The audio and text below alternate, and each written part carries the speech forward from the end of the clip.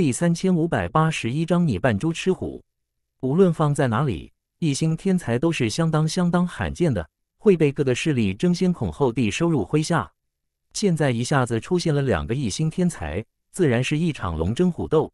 原本一星天才怎么也得在三十二强甚至十六强、八强的时候才会相遇，可因为这赛制的规定，导致两大年轻天才这么早碰撞上了。两虎相争，必有一伤。林寒兴致勃勃，在一边坐着观看，闲着也闲着，打发一下时间好了。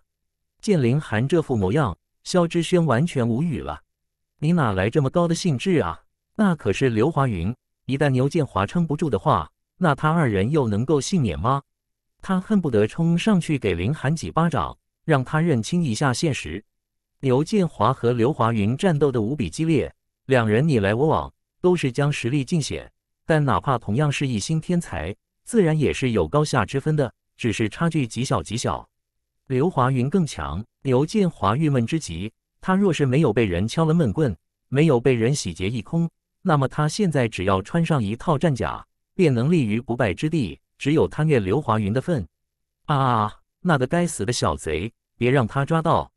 刘华云则是冷笑。其实他在天分上并没有比牛建华高，但他在寻觅境代的时间更长，将境界圆润的更加完美，所以久战之下，这个优势自然慢慢显现了出来，而且越来越大。这一战他是赢定了，你们两个赶紧走！牛建华大吼一声，却是立刻转身就跑。咦，你叫我们跑，不给我们争取点时间的？萧之轩张口结舌，他知道像牛建华这样的二世祖靠不住，但完全没有料到会靠不住到这样的地步，也太无耻了吧！可牛建华跑得飞快，瞬间就没了踪影。刘华云只是追了几步就停了下来，不得不承认。牛建华掌握了一门高深的身法，速度还在他之上，追了也是白追。无妨，接下来还有很长的时间，他还能再遇到对方的。先把另外两个人解决了。他转过身来，森然看向林寒和萧之轩：“你自断一臂，然后滚。”他对着萧之轩说道，又向着林寒看去：“至于你嘛，将舌头拔了，再自断双臂。”林寒压了一下，道：“自断一臂倒是可以。”可自断双臂的难度也太高了，不如你给我示范一下。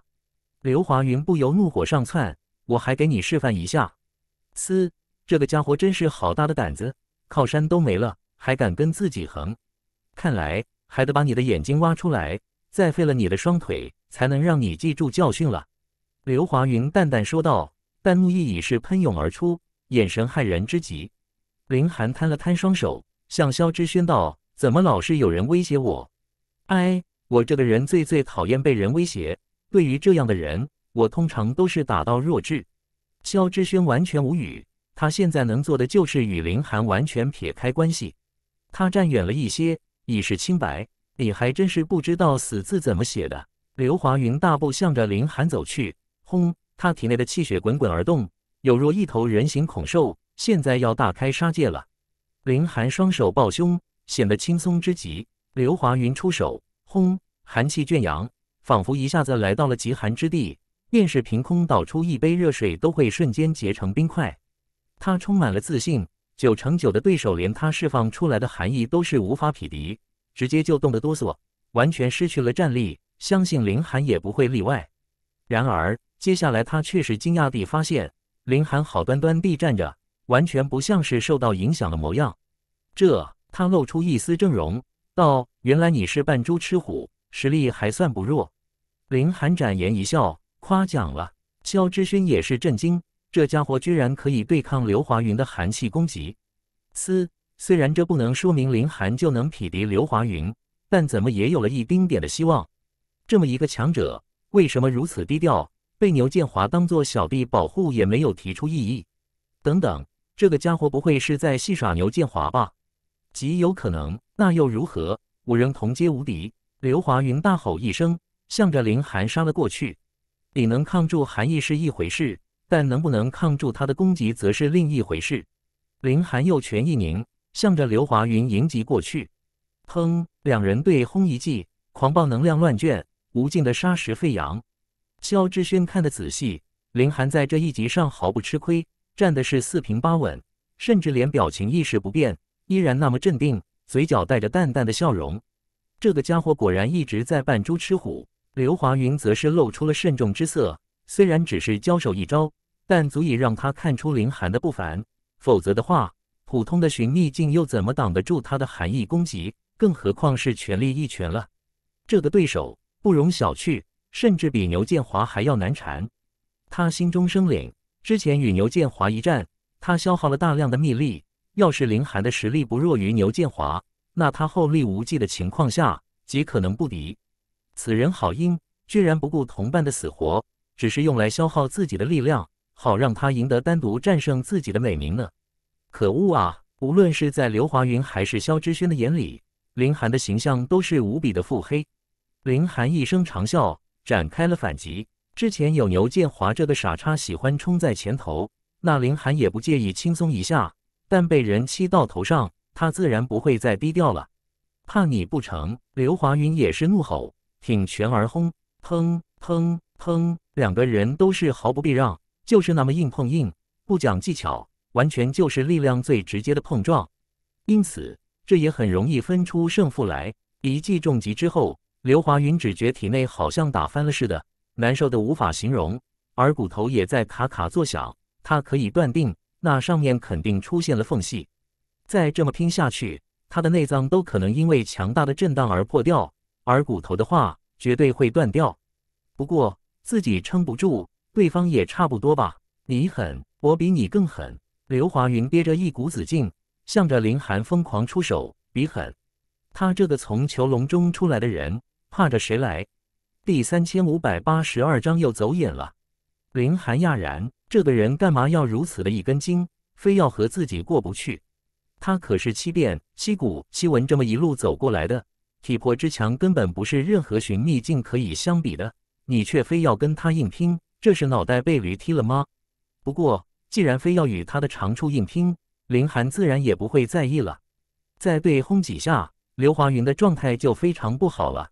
他的头发全部凌乱，额头上布满了冷汗，那是生生痛出来的，真是疼。他至少断了三根指骨，耳臂骨上也出现了许多的裂缝。再对拼几下的话，保证手臂就废了。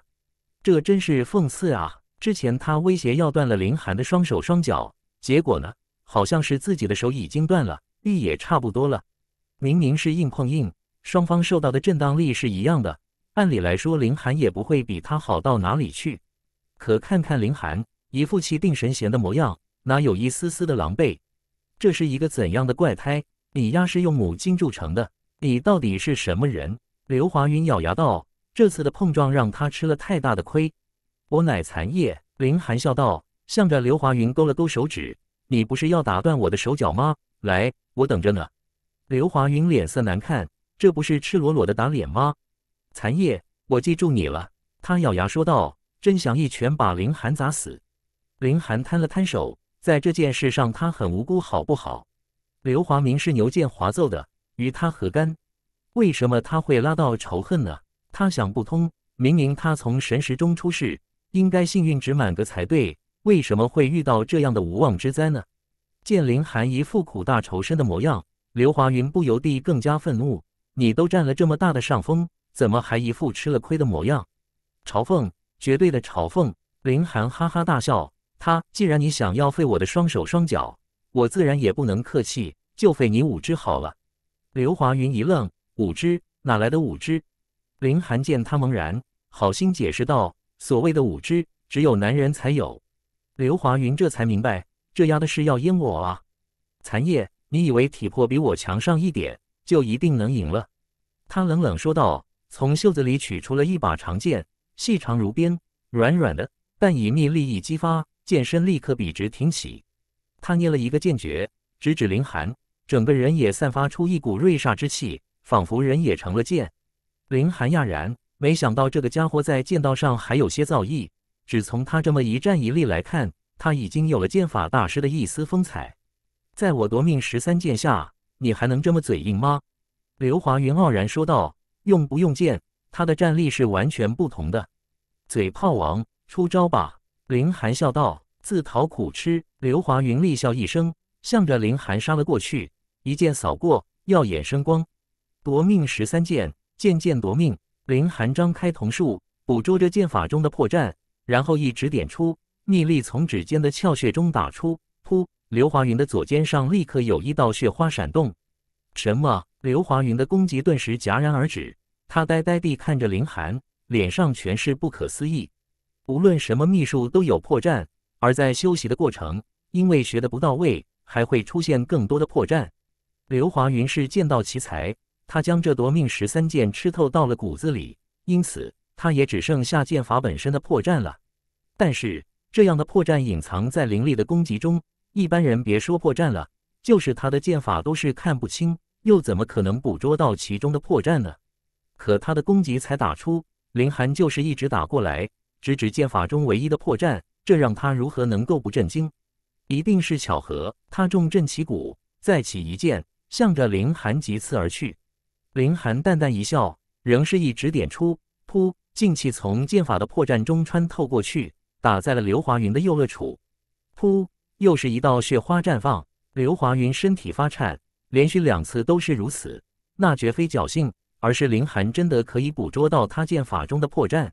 怎么可能？怎么可能？林寒有些讶然道：“咦，不是十三剑吗？怎么不出招了？还出个屁啊！”刘华云摇头。夺命十三剑的威力无比强大，但也因为如此，在防御上就太弱了。因为只要以雷霆万钧之势干掉对手，自己的防御是高是低又有什么区别？之前他哪怕遇到旗鼓相当的对手，可只要展开夺命十三剑，对方肯定便只有防守的份。哪像林寒，一指弹出就让他见血。再展这套剑法，他是自讨苦吃。他重新出剑，但这一次剑势便没有那么凌厉了。而是有一种和风细雨的韵味，他改变了剑法，这是烟雨剑。林寒展开瞳术，嘴角露出一抹笑容。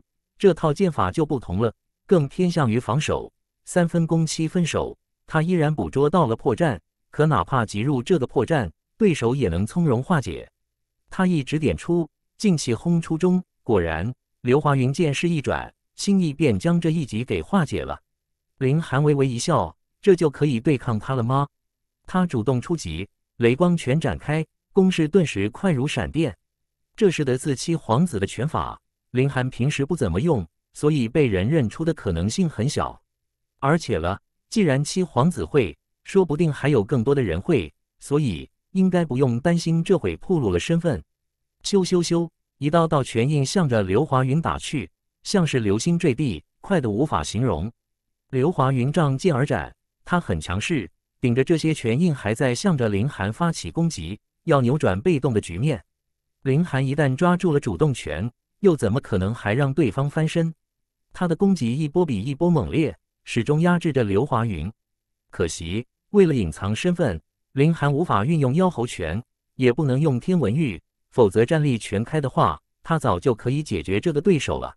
饶是如此，萧之轩已是看得小嘴圆睁，吃惊无比。他又走眼了。之前以为牛建华只是普通的二世祖，没想到那竟是个一星天才。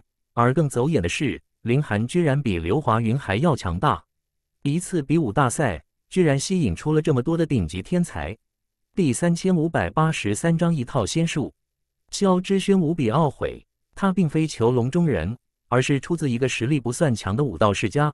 他则是吃了一颗宝果之后，修为直窜寻秘境。这样的来的修为自然战力不强，他也知道这点，因此他来这里参加比武大赛，目的就是来挑一个超级天才做自己的如意郎君。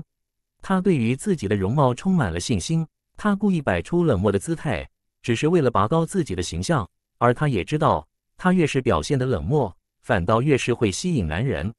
太容易得到，便不会珍惜。经过他之前的观察，对表现神秘的林寒最感兴趣。对夸夸其谈的牛建华则最是反感，但看到牛建华的强势表现之后，他自然对牛建华刮目相看，深感自己看走了眼，竟是把龙看成了虫，而把虫看成了龙。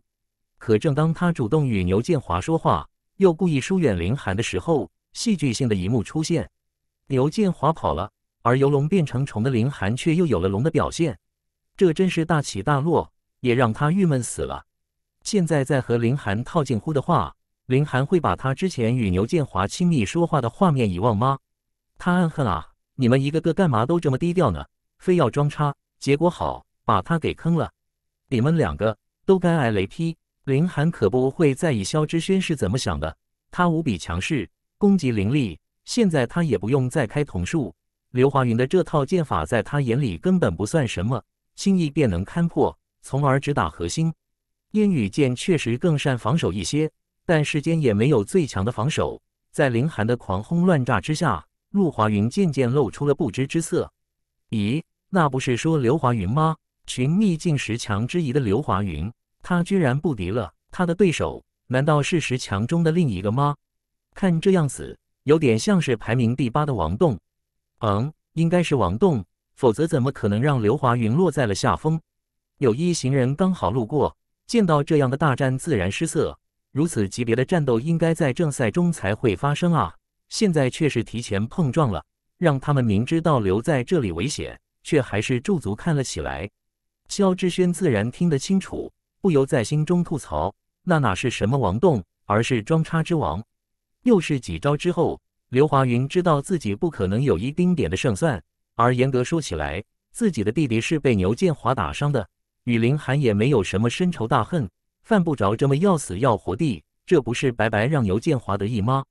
一念至此，他连忙掉头就走。这留的青山在，不怕没柴烧。等进了正赛，再遇到林寒的时候，他再用出绝招好了。这压箱底的功夫，当然的留在最最关键的时候用了。林寒打出一道劲气，轰在了刘华云的屁股上，碎布纷飞之中，顿时纤毫毕现。附近观战的人都是瞠目结舌，刘华云居然果奔。这绝对是大新闻，而害得刘华云果奔的，则是另一名年轻天才王栋。不说这件事的本身，只要想想后面隐藏的故事，就足以让人浮想联翩了。激情满满啊！林寒收拳，向着附近那些人看去，顿时吓得这些人落荒而逃。哎，跑什么呢？他又不是老虎。残叶兄，你可真是深藏不露啊！萧之轩悠悠说道，似哀怨又似诉情，让人怦然心动。他还在做最后的努力，万一林寒就喜欢他这款呢？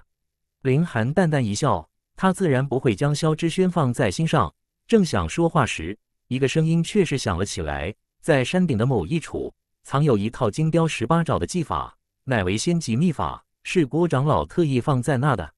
谁能够找到这套技法，便可以直接获得三十二强的一个名额。声音轰隆，传遍了山间每一个角落。这是一名仙途强者，林寒听后不由怦然心动。他不在意提前进入三十二强的资格，反正他一定可以胜出。但一套仙级技法就不一样了，他现在能够运用的法门少得可怜。如果能够得到这套爪法，那在接下来的正赛之中就可以发挥威力了。至于能不能在一两天之内修成这套技法，他自然是没有丁点的怀疑。他对自己充满了信心。这个声音谁都可以听到，显然必然有许多人会向着山顶赶去，展开争夺千级技法啊！而对于庸人来说，要是侥幸得到这门秘法，不是可以立刻脱颖而出了？因此，他们也愿意冒险。顿时，还没有退出比赛的人中，至少有八成都是向着山顶跃去。林寒也没有浪费时间，一转身掠身而去，将萧之轩丢在了原地。于他而言，两人又没有什么关系，只是先前住在一个院子而已。一个院子又不是一间屋子、一张床，需要负责吗？萧志轩则是叹了口气，显然他不可能扒上林寒了。那牛建华呢？可想到牛建华在关键的时候直接弃人而去，冷血无情，显然天性凉薄。这种人的眼里便只有自己。跟着牛建华的话，那说不定什么时候就被牺牲了。他想来想去。一团乱麻。此山并不是太高，也就几千丈。相对于现在动不动就几万丈的雄风来说，真是小自卑的。林寒行的还不算快，毕竟这是山路，展不开身法。但也只是花了两分钟而已，他就来到了山顶。这里已经来了几十个人，正在发生激战。有些人十分强大，一招就能毙敌；有些人则是稀疏平常，属于被一级秒杀的，实力差距十分明显。一套仙术将天才、庸才都是聚到了一起，厮杀之下，自然是庸才被快速淘汰了。太古宗突然说这里藏着一套仙术，显然是想让他们自相残杀的速度快一点。小子，过来送死了吗？一人咧嘴笑道，挥舞着血淋淋的大刀斩了过来。他已经杀了五个人，也杀得兴起。见到一个不过二十来岁的年轻人突然出现，第一时间便杀了过来。唰，眼看刀锋就要斩到林寒的脖子上，他不由充满了期待。那脑袋飞起，鲜血如泉涌的画面会让他无比的兴奋。第三千五百八十四章演技爆表。刀刃斩到，林寒随意一弹指，叮地一下，只见那把刀便飞了出去。出手的那名壮汉惨叫，他的虎口被生生崩裂，鲜血急涌。其痛钻心，林寒毫不留情，一指在点，噗！窍穴中打出一道劲气，没入了那壮汉的眼睛中，顿时将他的脑子轰了个稀巴烂。窍穴攻击的威力稍弱，对付像刘华云这样的高手就只能起到扰乱的作用，但又不是每个人都是一星天才，那壮汉也就比一般的寻秘境稍微强大一点，连林寒的窍穴攻击都挡不住。林寒收回了手指，一副云淡风轻的模样。好像只是做了一件微不足道的事情，然而附近确实有不少人看到了这一幕，个个都是凛然。来了一个狠人，他们都不敢去挑衅林寒，反正还没有发现金雕十八爪在哪，现在还没有到最后争夺的时候。再说了，有点实力的人也相信自己能够挺进三十二强，也不可能在争夺功法的时候太过拼命，这只是提前获得了一张门票，并得到一门仙法而已。若是为此送命的话，那就太冤了。林寒在山头寻找着，但谁也不知道这金雕十八爪技法的载体是什么样子的，刻在石板上、玉板上，还是画在了纸上、布上，所以这寻找起来就有点困难了，需要睁大了眼睛仔细地找。不然的话，这里早就拥挤了这么多人，不是早早就被找到了吗？厮杀还在继续，许多人都是想，既然还没有找到仙术。那就先杀人吧，反正把人杀的差不多了，那也能保证自己进入三十二强。林寒没有圣母心，并没有出手阻止。既然自己跑来参加比赛，那就得有相应的觉悟。人家也没有拿刀子逼着谁上山，所以现在只能生死自负。叫喊声沸反盈天，时不时就有人传出惨叫，有人逃向山下，不是找个地方躲再起来，而是不玩了，要逃出山弃赛。林寒充耳不闻，他的快点找出仙术来，这样他就有多一点的时间去研究。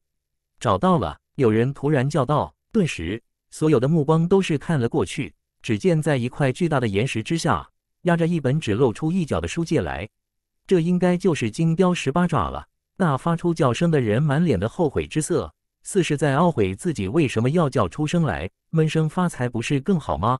哈哈哈哈，这是我的。一道人影如神龙似地飞掠过来，一掌便向着岩石拍去，要挥飞大石头，取走下面的仙术。想得美！有人出手拦截。这时候敢出手抢夺仙术的，自然个个都是高手，普通人只能碰碰运气。真到这样的关键时刻，上去抢夺就是送死。砰砰砰！激战立刻展开，越来越多的高手加入了争夺，但互相牵制之下，愣是没有人可以把岩石拍飞。取得下面压着的仙法，林寒并没有上前，因为他记得很清楚，之前他看过那里绝对没有那本书界的存在。现在怎么就突然变出来了？真是那人惊喜之下失态了。显然不是。林寒在人群捕捉着先前的那个人，很快他就定位到了，这是一个二十三四岁的年轻人，之前还一脸的懊恼，现在却是坐在了一块石头上，嘴里含着一根狗尾巴草。悠哉悠哉地看着戏，果然，林寒走了过去，在石头上一靠，道：“一手挑起如此大战，想来很有成就感吧？”那年轻人微微一笑：“你说什么？我怎么听不懂？”故意压了一本书在岩石之下，诓骗其他人发现了仙术，引发了血战。林寒说道：“这回年轻人没有否认，而是道：怎么样，我的演技很好吧？演技是不咋的。”只是对于人心的把握很好，瞬间就引发了战斗。否则细细想来的话，其实破绽还是挺多的。林寒实话实说，演的有些浮夸，尤其是最后那懊恼的表现太过了。嗯嗯，下次我一定改进。年轻人倒是挺谦虚的，连连点头，然后伸出手，我叫司马怀，你呢？残叶林寒也伸出手，砰！就在这时，终于有人趁着战乱打碎了岩石，拿起了下面压着的书戒。他兴奋之极，挥舞著书戒道：“我得到了，我得到了！”顿时，其他人的攻击都是向着他砸去。那人虽然不凡，但也架不住这么多劲敌的围攻，再加上兴奋之极疏于防守，顿时被轰杀成渣。他满脸的无法接受，自己都已经得到了仙术，按理来说，太古宗的人应该出现接引自己才是，怎么会看着他被轰杀呢？他勉强把手里的书戒拿高一点，目光扫过，顿时一口气没能缓过来，挂了。那上面赫然写着七个字：“古诗三百首赏析。”你妹的，被坑死了！那人双眼瞪得浑圆，流露着强烈的不甘，绝对的死不瞑目。其他人自然也发现，一个个都是气得七窍生烟，他们居然被耍了！唰，这些人同时扭头向着司马怀看去。司马怀顿时演技爆表，他露出无比的恐惧之色，指着林寒道：“各位大爷，我也是被逼的，就是他。”他让我把那本书压在石头下面，说是找到了仙术。他义愤填膺，摆出了受害者的模样。靠，还能这样的？林寒讶然，他真是低估了司马怀的表演欲啊！他有种感觉，司马怀的实力极强，哪怕不能横扫那些人，但杀出一条生路却是很轻松的事情。可他却是即兴发挥，把林寒给坑了。林寒摇摇头，这样的奇葩还真是少见。是你。众人都是将目光盯在了林寒身上，虽然仍有些怀疑，却已经相信了七分。因为林寒若是与司马怀没有什么关系的话，两人为什么会站得那么近呢？他们二人摆明了都在看戏码。可恶，太可恶了！林寒微微一笑：“我如果说与这件事情无关，你们也不会相信，是不是？”他承认了，真的与我无关，我是被迫的。司马怀立刻叫道：“闭嘴！”一名红发男子喝道，然后杀气腾腾地道：“不如将两个人都宰了吧。”第三千五百八十五章金雕十八爪。好，其他人都是点头。虽然林寒才是罪魁祸首，但司马怀为虎作伥，自然也不能放过。林寒哈哈一笑，向着司马怀道：“怎么样？我说你演技浮夸吧？”司马怀则是叹了口气，他感觉自己演得很好，很投入啊。羞羞羞！四周的人已经纷纷出手，向着林寒和司马怀齐齐攻来。哎，为什么你们非要找死呢？司马怀淡淡说道，身形突然杀出，飘逸如鬼魅。噗噗噗，他在人群中自如穿梭，便看到一道道血花飞溅，莫不被他生生摘走了天灵盖，倒地而亡。他连杀十几人，本身却是不染一丝血迹，飘逸潇洒。其他人却是害怕的胆汁都要冒出来了。这人的实力怎地如何之强？他们这些人敢来争夺，肯定要比一般的寻秘境强大。可那么多人围攻，兀自被他一招灭杀一个，这实力差距有多大？他们都有些怀疑，此人是不是仙途强者了？立刻有人转身便跑。这样的杀神不可匹敌，还是不要去送死的好。有一就有二，这里的人很快就跑得干净。司马怀转过身来，向着林寒一笑。我还是挺讲义气的，没有连累到你吧？可是我仍是十分不爽。”林寒淡淡说道。“那又如何？”司马怀看向林寒，双眼蓦然变得通红，好像染满了鲜血。“你是一个不错的对手，我想用你的人皮做盏台灯，应该很漂亮。你不是演技派吗？怎么突然又成了神经派？”林寒把墓碑碎片取了出来，他决定好好教训一下这个家伙。哈哈。你想用一块板砖来对抗我？司马怀大笑。残叶，看来你还的没有起错名字，脑残啊！林寒右手抓着墓碑碎片，左手则是向着司马怀勾了勾手指。来吧，成全你！司马怀攻了过来，林寒直接一板砖直了过去，咻，有若炮弹一般向着司马怀砸去。无知！司马怀随意一拨，打出一道劲气，便要将墓碑碎片打飞，但他立刻色变。因为墓碑碎片好像万法不沾，他打出的劲力根本没有作用，那块板砖依然向他砸了过来。这时他已经错过了最佳的躲闪时间，只能将双手交叉挡在了面门上。砰！他只觉双手一痛，然后整个人都不好了，好像被一股阴气缠绕，虽然这无影无形，可他就是有种感觉，好像被某种东西缠上了。痛痛痛！他低头看，只见两只手都是变形了，骨头肯定断掉了。他大骇：这是什么宝器？也太恐怖了吧！林寒身形逼近，补上一拳，司马馈连忙退，他的双手也不知道伤得多么严重，哪敢与林寒力拼。林寒趁机收回了墓碑碎片，他砸出这玩意也只是想要试一下，没想到效果真是惊人。我觉得你应该演一个死人。他连连出拳，快如流光。司马馈又怒又惊，如果他还在完全状态，自然不惧这雷光拳，但双手好像断了几根骨头，经脉也伤到了。又怎么适宜战斗？他只能退，一退再退，耻辱啊！一向只有他玩弄别人的份，可现在居然落得如此狼狈，感到双手越来越痛。他不再恋战，而是转身而逃。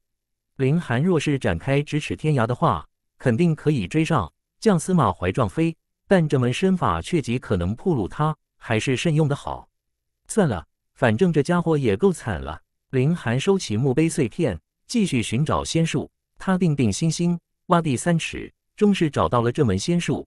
这是一卷兽皮，当然不是虚空兽所剥落，有些古老了。展开之后，却是一头金雕在捕猎的画面，不同的角度，不同的对手，但皆是快速制敌。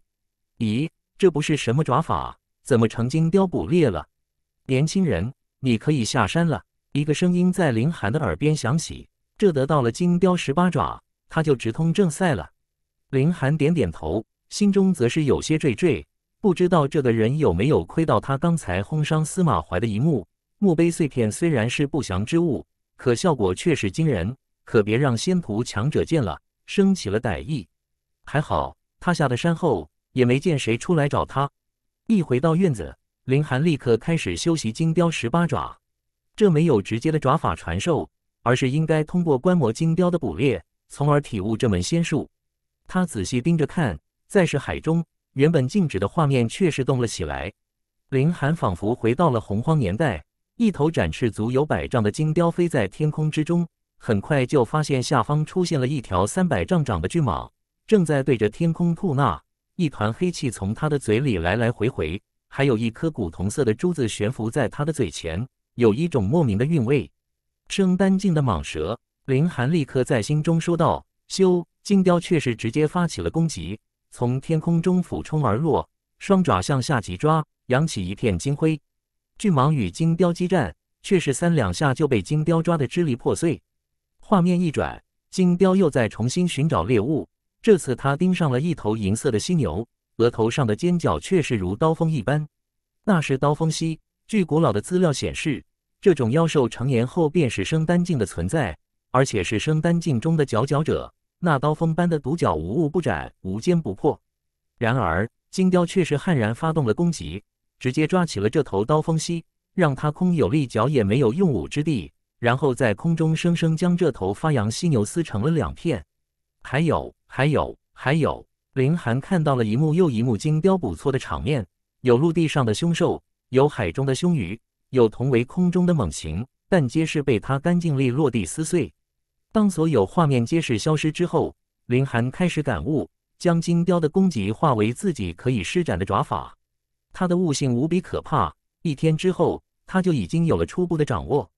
这时，有人过来送口信，让林寒明日早上十点赶去太一阁前的广场上，正赛会在那里举行。除了林寒之外，在这个院子里还有牛建华也接到了口信。事实上，被淘汰的人已经离开了太古宗。留在这里的人都是有资格参加正赛的。第三千五百八十六章，真巧，牛建华可以进入三十二强，并不奇怪。他毕竟是一星天才。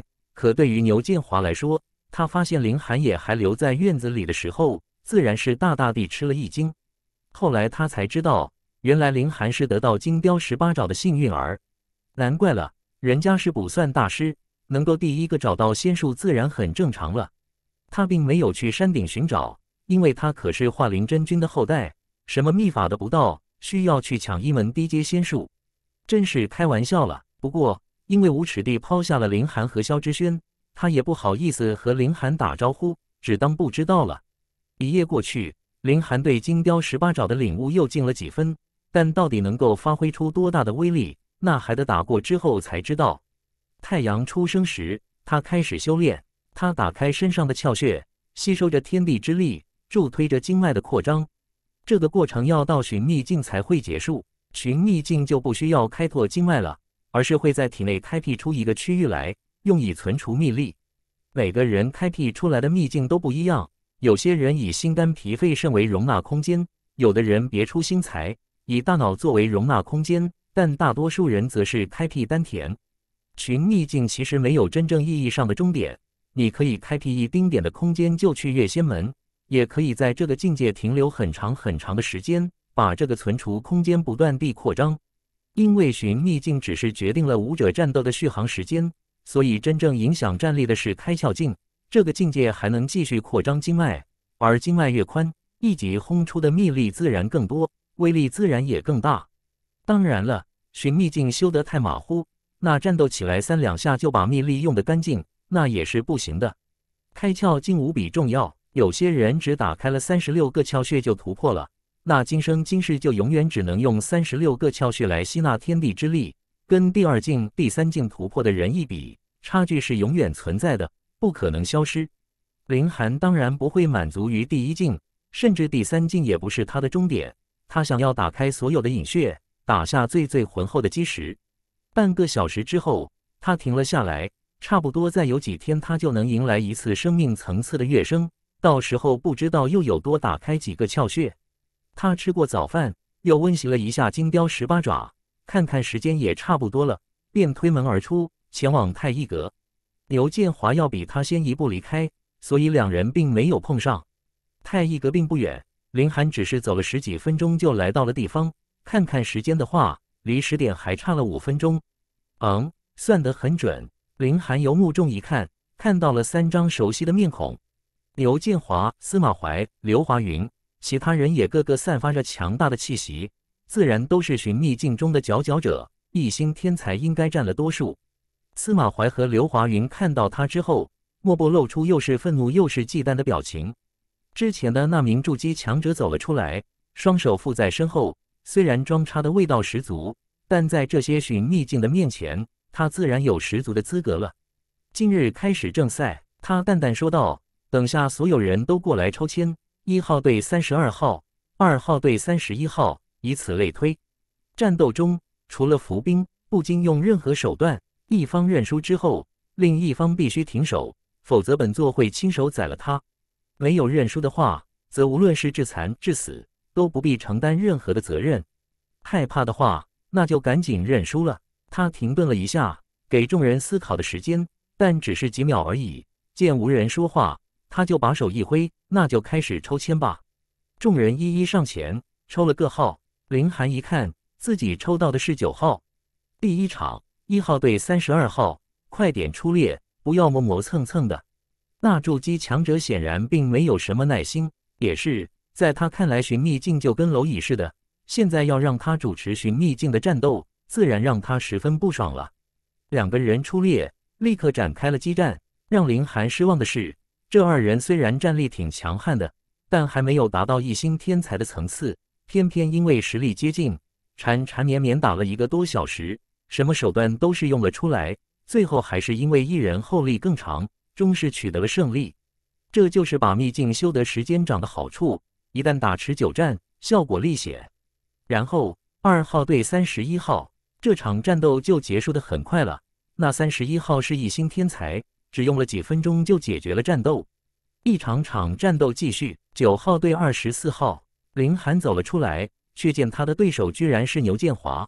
牛建华显然也没有想到，他的脸上露出了惊讶之色，但随即就点点头，道：“你不是本少的对手，赶紧认输吧。”林寒毕竟精通卜算，未来他去开启古迹的话，说不定可以帮到忙，所以他也不想让林寒公然落败，免得日后尴尬。这话出口，刘华云和司马怀同时露出鄙夷之色。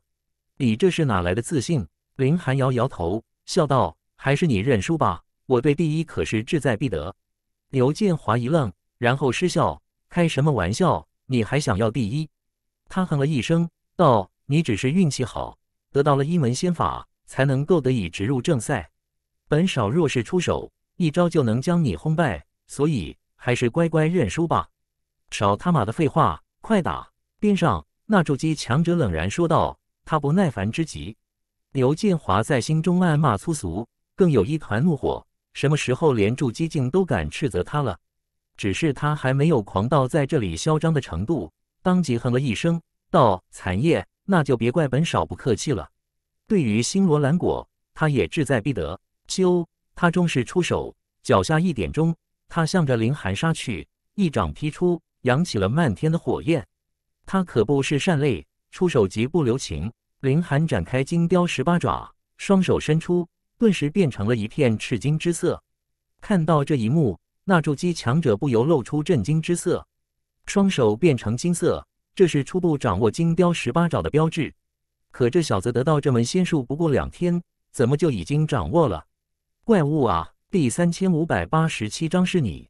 不只是那名筑基强者，牛建华的脸色也一下子变得精彩之极。在他眼中，完全算不得战力的凌寒，居然可以与自己对抗，那异动的气息做不了架，强横无比。砰！两人对轰了一记。牛建华顿时腾腾腾地连连后退，足足退了十几步才拿稳了脚步。咦，这个地方倒是挺奇怪的，承受了这么强大的力量冲击，居然没有一块地砖坏了。林寒向着地上看看，满脸的好奇之色。众人都是晕菜，你这是什么脑回路？这时候怎么会蹦出这么一句话的？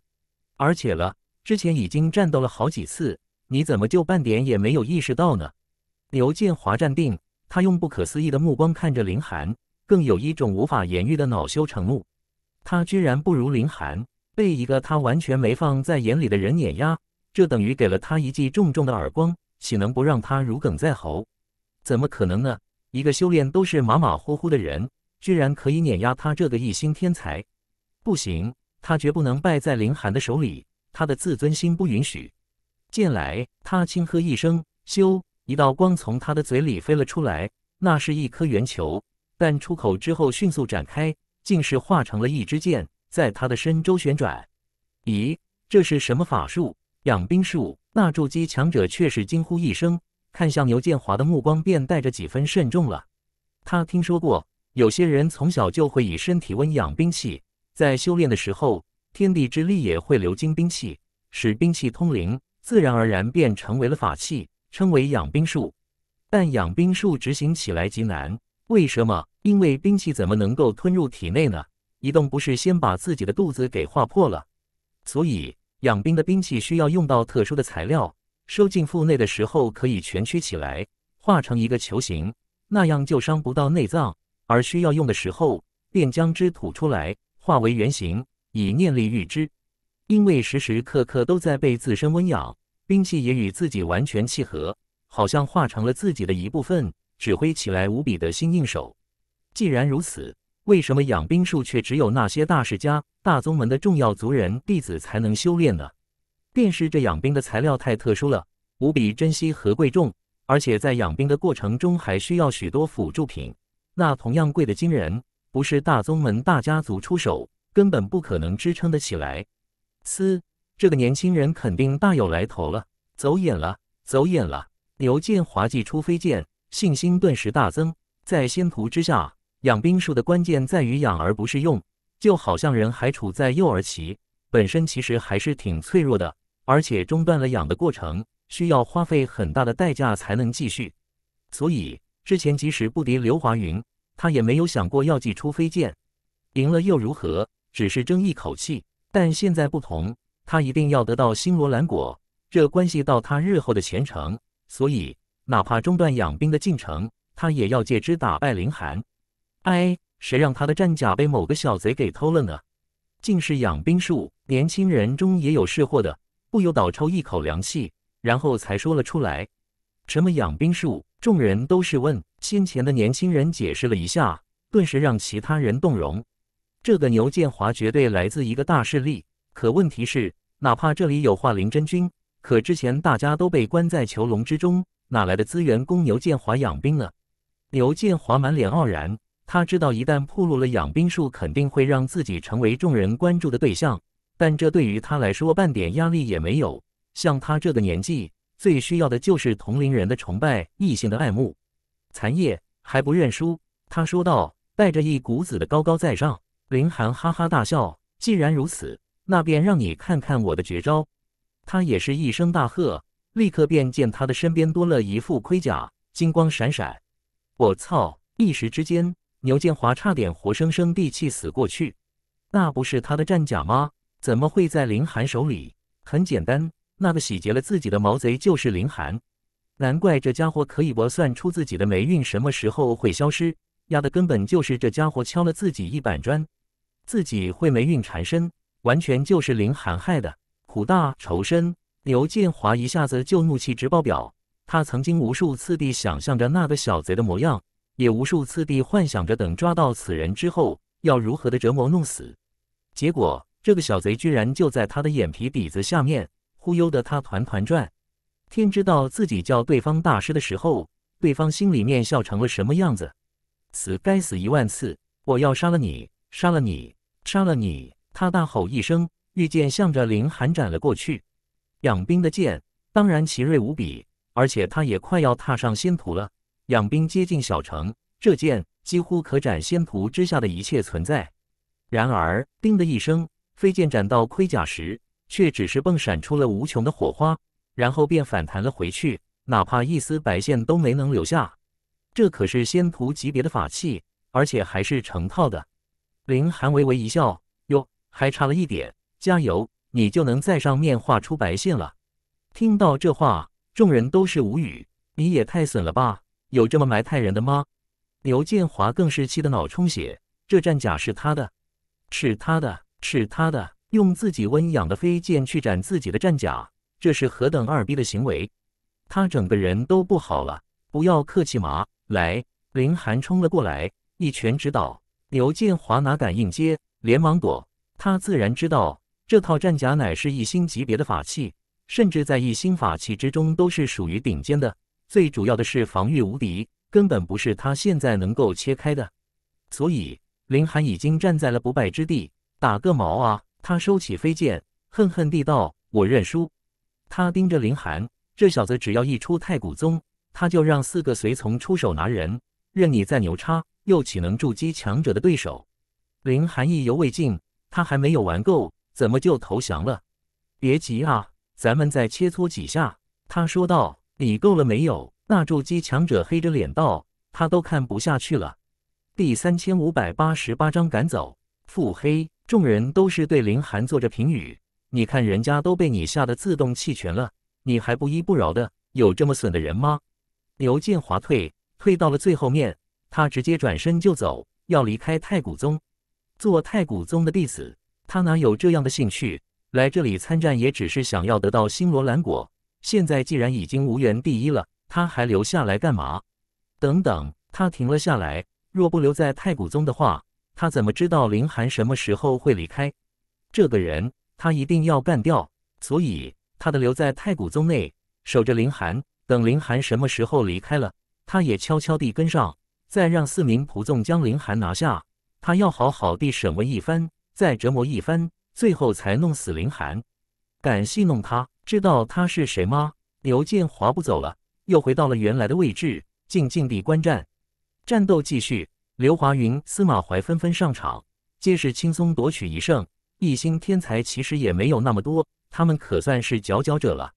林寒的目光凝注在一名黑衣年轻人的身上，他是柳军太古真君的第三名弟子，能够被华灵真君收为弟子，柳军的天赋当然不凡，绝对是一星天才，而且还是能够在一星天才中排在前面的。他一出场。连那名筑基强者都是十分客气，含笑面对，给足了面子。这家伙之前将架子摆得有多高，现在却是几近谄媚，凸显出了化灵真君的强大，让一名仙徒强者都是对着凡人点头哈腰的。第一轮战斗结束，更强的天才当然脱颖而出，而一星天才中没有挺进第二轮的，便只有牛建华了。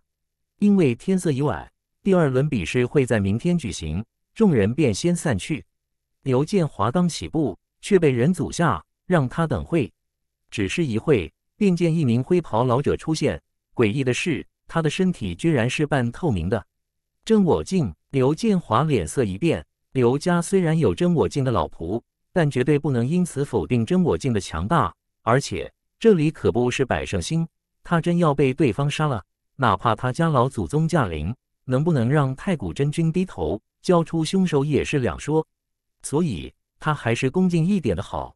见过前辈，他拱手道：“这名真我镜叫童月。”他点点头，将姿态摆得很高，然后才道：“你来自何方？”刘建华微微犹豫。便决定说实话，晚辈来自百胜星兴隆教，家祖牛方，原来是牛真君的后人。童月哦了一下，难怪这小子能够养兵，原来来自另一个星体。前辈认得家祖，刘建华也有点小惊喜，是不是可以请对方出手，将林寒给拿下呢？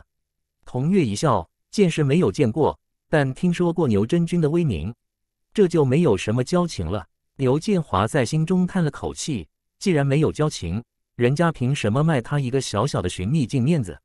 既然是牛真君的后人，太古宗也不敢收你为弟子。这就去吧。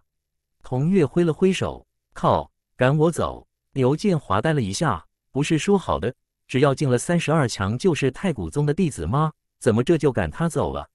可童月也有童月的想法，一名化灵真君的后人待在自己的宗门内，万一出点事情呢？刘芳还能被太古真君挡下来，可若是牛方请动了兴隆教的强者呢？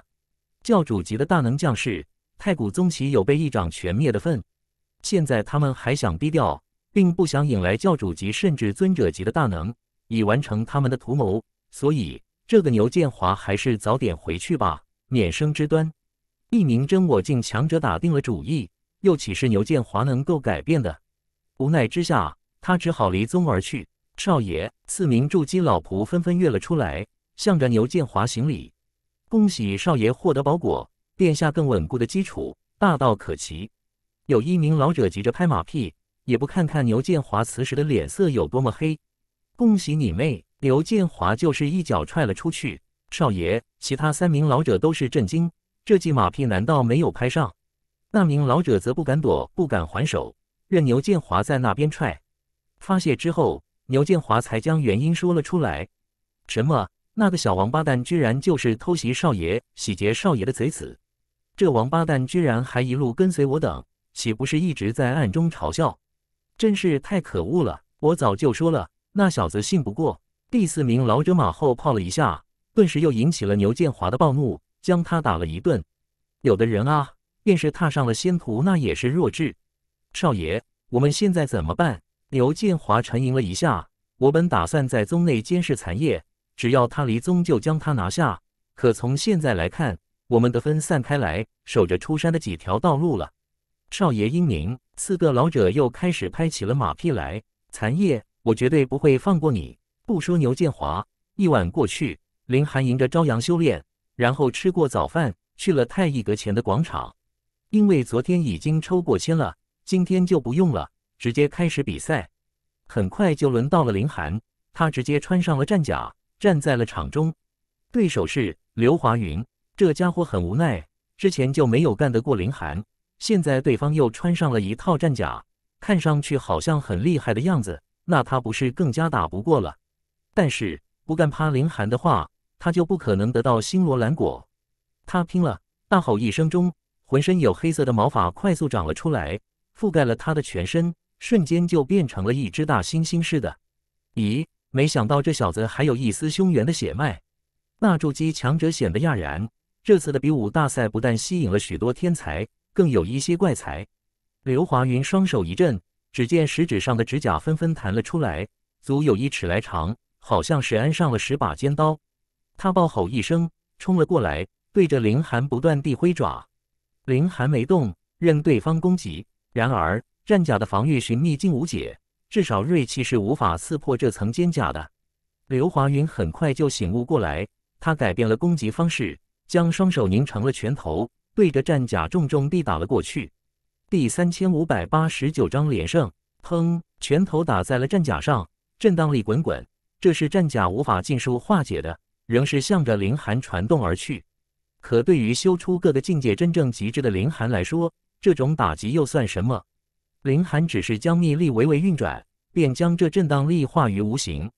靠！看到这一幕，众人都是无语了。这样厚实的防御要怎么破解？不破了林寒的防御，那根本伤不到人，又何谈打败林寒呢？剩下的人都是皱起了眉来。他们想要获得第一的话，那都可能碰到林寒，那自己又要如何应对呢？他们绞尽脑汁，只觉穿上这身乌龟壳后，林寒的防御真是无解了。残叶，可敢光明正大地一战？刘华云怒吼道。现在他全身都是毛茸茸的，根本就是一头大猩猩。林寒讶然：“我按键伤你了吗？”“没。”刘华云下意识地回答。“我从背后偷袭你了吗？”林寒又问。“没。”刘华云摇了摇头，不解林寒为什么这么问。“我没有偷袭你，也没有用暗器伤你，怎么就不光明正大了？”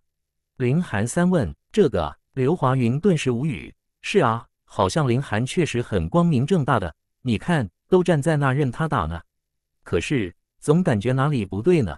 他想了想，道：“你把战甲脱去，我们公平一战。”他终是想到，这才是关键点。不干！林寒果断地拒绝。咦，你不按常理出牌啊？不是应该豪气一发，说公平一战就公平一战？你的实力根本不弱于我，好不好？何惧公平一战？刘华云呲牙，他真的很想扑上去将林寒咬死。你这样欺负人真的好吗？你连公平一战都是不敢吗？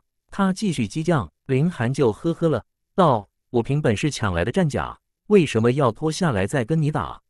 靠，好有道理啊！众人都是无语。这林寒不但防御如乌龟壳，这脸皮之后也是不遑多让，完全刺不动啊！刘华云没辙了，向着督战的筑基强者看去，指望对方可以主持公道。打不打？不打就认输。那筑基强者却是不耐烦地道：“得。”刘华云想了想，摇摇头道：“我认输。打个屁啊，根本伤不了人，好吧？”林寒则道：“承让承让，我现在养身养性都能不战而屈人之兵，品格果然高尚。”噗！刘华云顿时一口老血就喷了出来。你还要不要脸了？这叫以德服人，服你妹啊！便是那筑基强者也再次脸黑。他昨天就知道林寒狠。奇葩，但今天又把无耻上升到了一个新的高度。林寒嘿嘿一笑：“那是你们还没有见过大黑狗，现在要是换成大黑狗站在这，光是那铁内裤就能闪瞎你们的眼睛，好不好？”这一场战斗不但让牛华云吐血，也让其他人头疼，都是在想：要是自己遇到林寒的话，又该怎么办？这么一想，自然影响了接下来几场战斗的精彩程度、大师水准。因为只有八场战斗，仅仅到了中午时分就全部打完了。于是吃过饭之后，下午继续。太古宗内也有许多弟子跑过来观看，这些人大多是极古境、明文境，能够观摩寻秘境的战斗，而且还是天才之间的较量，自然与他们的成长十分有益。林寒很快就上场，还是战甲在身，他的对手是司马怀。巧，真是巧。司马怀的脸色有些难看，他要获得第一的话，难免要过了林寒这一关，但这么快就碰上了，他还是有些脸黑，因为他还没有想到该怎么破解林寒的防御。他慢慢走上了场，然后取出了一把斧头，这斧头通体漆黑，可锋刃却是闪动着红色的光芒，好像刚刚饱饮了鲜血，让人看了便会情不自禁地颤抖一下。他大吼一声。抡着斧头就向着林寒斩了过去。这一击，他用足了全力。可就在这时，只见林寒轻轻向左边跨出了一步，顿时让他一斧子斩了个空，然后一拳向着他打了过去。靠，你耍无赖啊！司马怀都要哭了。之前你和刘华云打的时候，不是不躲不闪，只凭防御就让对方认输的吗？怎么到他这里，却居然还闪躲了？他根本没料到林寒会这么干。因此，一斧头斩出去，完全把力量放在了攻击上，极限化了攻击。所以，他现在便只能眼睁睁地看着这一拳轰过来。砰！拳头打到司马怀，只觉五脏六腑好像全部沸腾起来了，忍不住就趴到一边呕吐不止。他勉强抬头，向着林寒看去。林寒向着他挤了一下眼睛：“我的演技不错吧？”噗！司马怀顿时暴吐一口鲜血，足不。只是晕死了过去，气得场中一片无语。林寒这一拳根本不算惊艳，完全是利用了司马怀完全没有防备的弱点，才会一击败敌。阴险无耻，剩下的几人面面相觑。难道要让这么一个无耻之徒踩着众人的脸登顶吗？那筑基强者也无语之极。这比武大赛就是要挑选人才，虽然第一已经内定给了柳军，但事实上，若是有人可以打败柳军的话，太古真君也只有高兴，这才是他心目中的理想徒弟。可这个人要是林寒的话，想必太古真君肯定也要呲牙的吧？三师兄，师傅不是教导我们，自身的强大才是王道吗？可那个人穿了一套战甲，一拳就把对手打败了。四周观战的太古宗弟子中，一名年仅十三四岁的少年人满脸的茫然，向着边上一名年长些的师兄问道：“这……”那名师兄直接无语，简直毁三观啊！下午四战结束，便只剩下四个人，明日还能再战，分别是林寒、柳军、孔瑞和马若。林寒的下一个对手是孔瑞，一个锐气十足的年轻人。实力相当不凡。一晚过去，林寒还是在修炼完毕、吃过早饭之后，来到了广场上。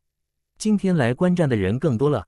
早上两场打完之后，接下来就直接上决赛了。宗内弟子当然要来拍拍他们柳军师兄的马屁。林寒看了一下，太古宗果然在袒护柳军，因为柳军的战斗是第一场，而他的等柳军打完才开始第二战。关键是第二战结束之后。就会立刻开始决赛，这自然极不公平了。第三千五百九十章病号，世上没有绝对的公平。这个比武大赛是太古宗搞出来的，肯定会偏向柳军，这一点也不奇怪。林寒淡淡一笑，以为这就能阻止自己夺冠吗？来吧，第一场，柳军对马若。马若可以走到四强这个位置，实力当然不弱，与柳军激战不已。但显然柳军更强。不断地压制着对手，耗了一个多小时之后，终是将马若打败。柳师兄万岁！柳师兄无敌！千图之下，柳师兄可称第一人。什么红天部，要是敢来参赛，肯定会被柳师兄轻易击败。众人都是替柳军摇旗呐喊。柳军带着高傲的笑容走了回去，取出丹药服食，以尽快恢复秘力。激战一个小时，对他的消耗还是挺大的。下一场。林寒对孔瑞，孔瑞是一个面目有些惨白的年轻人，好像生了什么重病，脸色奇差。他一边走一边还在咳嗽。待对上林寒时，他直接开口：“你认输，我送你一套仙术。”嗯，这是公然贿赂吗？督战的筑基强者脸色铁青，恨不得一巴掌拍死孔瑞，居然敢当着他的面行贿。可问题是，他要是拍死了孔瑞，那林寒岂不是直接进入了决赛？一个养精蓄锐，一个却是刚刚经历了一场大战，自然对柳军非常的不利，所以他强行按下杀人的冲动，必须给柳军争取多一点的恢复时间。休得胡言！他开口道：“开始比试吧。”孔瑞叹了口气，说道：“这年头，有人送上门的钱也不要吗？还敢说？”众人都是差点晕倒。这个人也很不靠谱。林寒哈哈大笑道：“来战吧！”你穿着个乌龟壳，怎么打？孔瑞说道，连连咳嗽。你看我病怏怏的，能够跑来这里也不容易，不如把战甲脱了，就当是照顾一下我这个病号，怎么样？众人一听，都是只觉此人也是非常无耻。你能够走到四强这一步，战力能普通吗？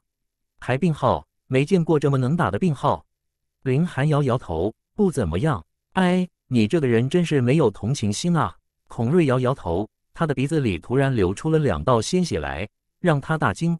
他妈的，又虚的流鼻血了！众人都是惊讶，这家伙还真是病号。林寒却是神情一凛，那鼻血可不是鲜红色的，而是乌黑如墨，还有一种无法形容的黑暗。咻！孔瑞杀了出来，双手合推，轰！掌手中顿时打出一道黑色的冲击波，化成了一条黑龙似的，向着林寒轰了过去。暗龙追！只听他大吼道：“林寒眼前一花，好像真的看到一条黑龙张牙舞爪地向着自己袭来，浑身覆盖着难以言述的符号，如要灭世。黑光打到，林寒顿觉战甲在被一股力量腐蚀。如果这战甲只是寻秘境级别，那估计现在已经有一层斑斑锈迹了。可不巧的是，这可是一星法器，又岂是寻秘境能够破坏的？只见战甲自行发光，金光普照，在黑暗之中无比醒目。轰！黑暗冲击波打过，林寒依然傲立。孔瑞又开始咳嗽起来，变态，真是变态！我都拼命了，却连人家一根鸟毛都没有伤到。哎，伤心，不玩了。林寒的脸色不由发黑。你说伤不了一根毛就是了，为什么要说鸟毛呢？孔瑞还真是说不玩就不玩了，转身便走，果断之极。这暗龙锥是他最大的杀招，可连攻击力最大的绝招都没能轰破林寒的战甲，那再战下去也是徒劳。那还不如赶紧认输。打架可是很耗体力的，而且还可能受伤，划不来。边上的筑基强者恨不得掐死孔瑞。你呀，还是武者吗？怎么连一点战斗觉悟都没有的？不打一招没干过就撤了，简直怂到家了。他向着柳军看去，对方哪怕服食了灵药，可顶多恢复了三分之一的力量，怎么办呢？要如何拖上些时间？开战吧！没想到柳军却是站了起来，主动请战。这那筑基强者有些犹豫。这柳军赢了还好，但万一输了呢？他可负不起这个责任。无妨，柳军已经走了出来。他摆了摆手，显得轻松之极。此人也不过是仗着这副战甲，只要我能破之，一剑便能压制。他右手一震，凭空多了一把剑。这剑奇薄，如同一张纸似的，好像稍微用力一扬就会断掉。残叶，没想到竟会是你站在我的对面。”柳军淡淡说道。“不过，不管是谁，在我面前都只有匍匐称臣的份。”林寒做了一个请的姿势，道：“请继续你的表演。”表表演，柳军顿觉自己受到了一万点伤害。他这个化灵真君的亲传弟子，难道是小丑吗？在你面前表演，看来你是非要吃些苦头了。他森然说道，将宝剑举了起来，顿时整支剑都是亮了起来。咦，仙气！林寒看了一眼，立刻就能断定，这是一把异星法器，用过战锤很多次了。他对异星法器并不陌生，在我的逍遥剑下。你便是穿着战甲又如何？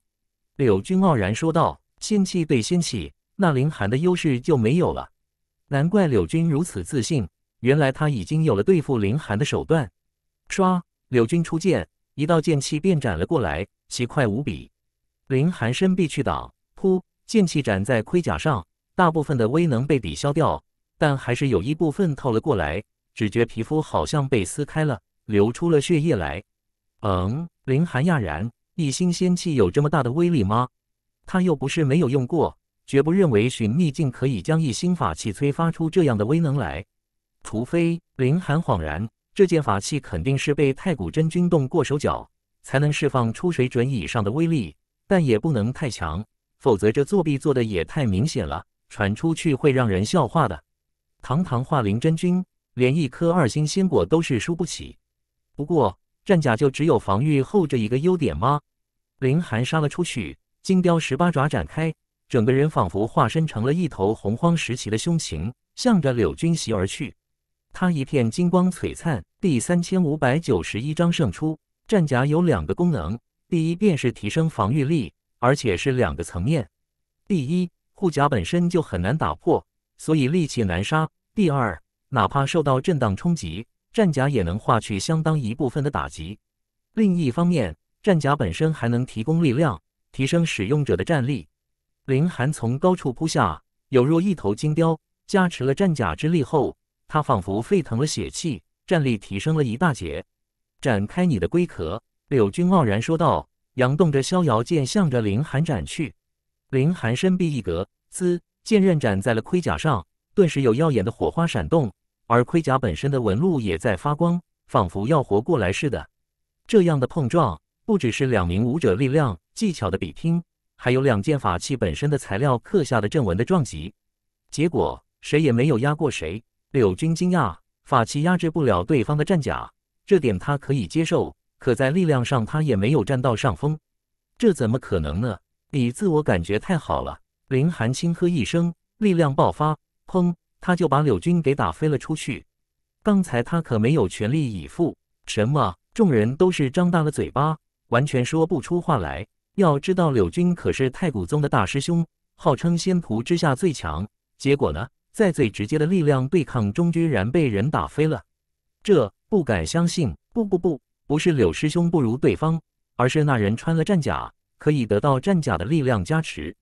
有人立刻解释道：“怎么也不能折了柳军的名头。”嗯，这就是原因。这战甲至少提升了那人十倍的力量，十倍，你可以再大胆一点，一百倍，必须的，否则怎么可能震飞柳师兄？众人议论纷纷，绝不相信有人可以强过柳军，甚至与他比肩也不行。因此，他们把一切都是归到了战甲的强力上。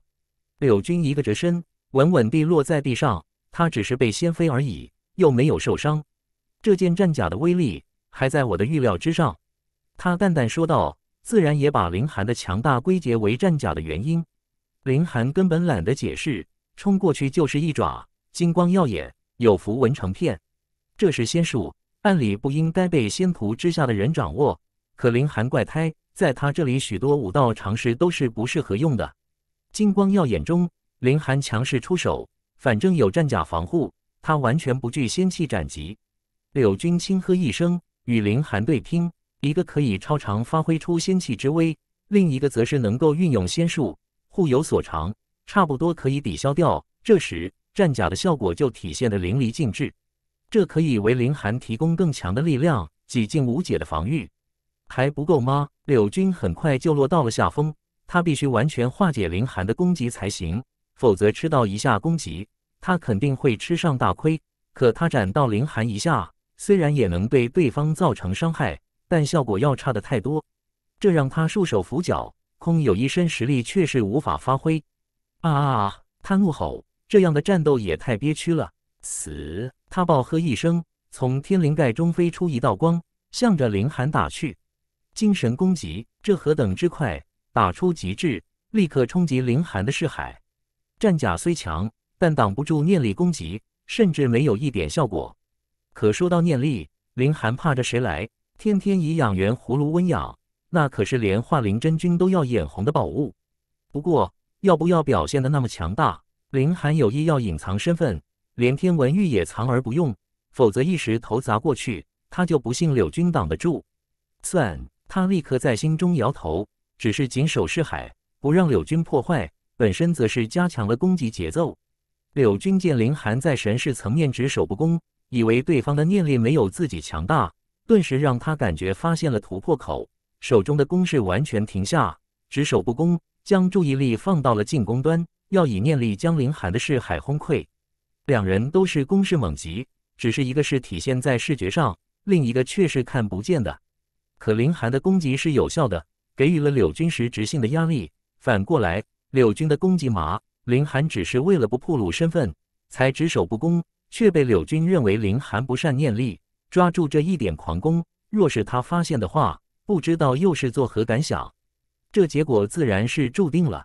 柳军不断地受伤，可他寄予厚望的反击却是迟迟不见效果。别说轰破视海了，就是进入是海都市不可，一直在周边打着转。他这才意识到，若非对方的神识无比强大，就是对方还有一件秘宝可以守护神魂。我靠，你压的是什么鬼啊？手里怎么可能有这么多的法器？而且了，念力像的法器更加珍贵。原因很简单，少啊。这还怎么打？可要认输的话，那是绝对不行的。堂堂太古宗仙途之下的大师兄，居然不敌而降，以后他还有脸坐在这个位置上吗？他只有咬牙死撑，期待着奇迹的发生。怎么大师兄还没有反击？有十三四岁的少年看不懂状况，在一边急着叫道：“大师兄！”快反击啊！边上的少年也跟着叫了起来：“大师兄加油！”更多的少年叫道。在这些年幼天真的少年眼中，柳军便是不败的战神。可现在他们的战神却被人压着打，让他们无比着急。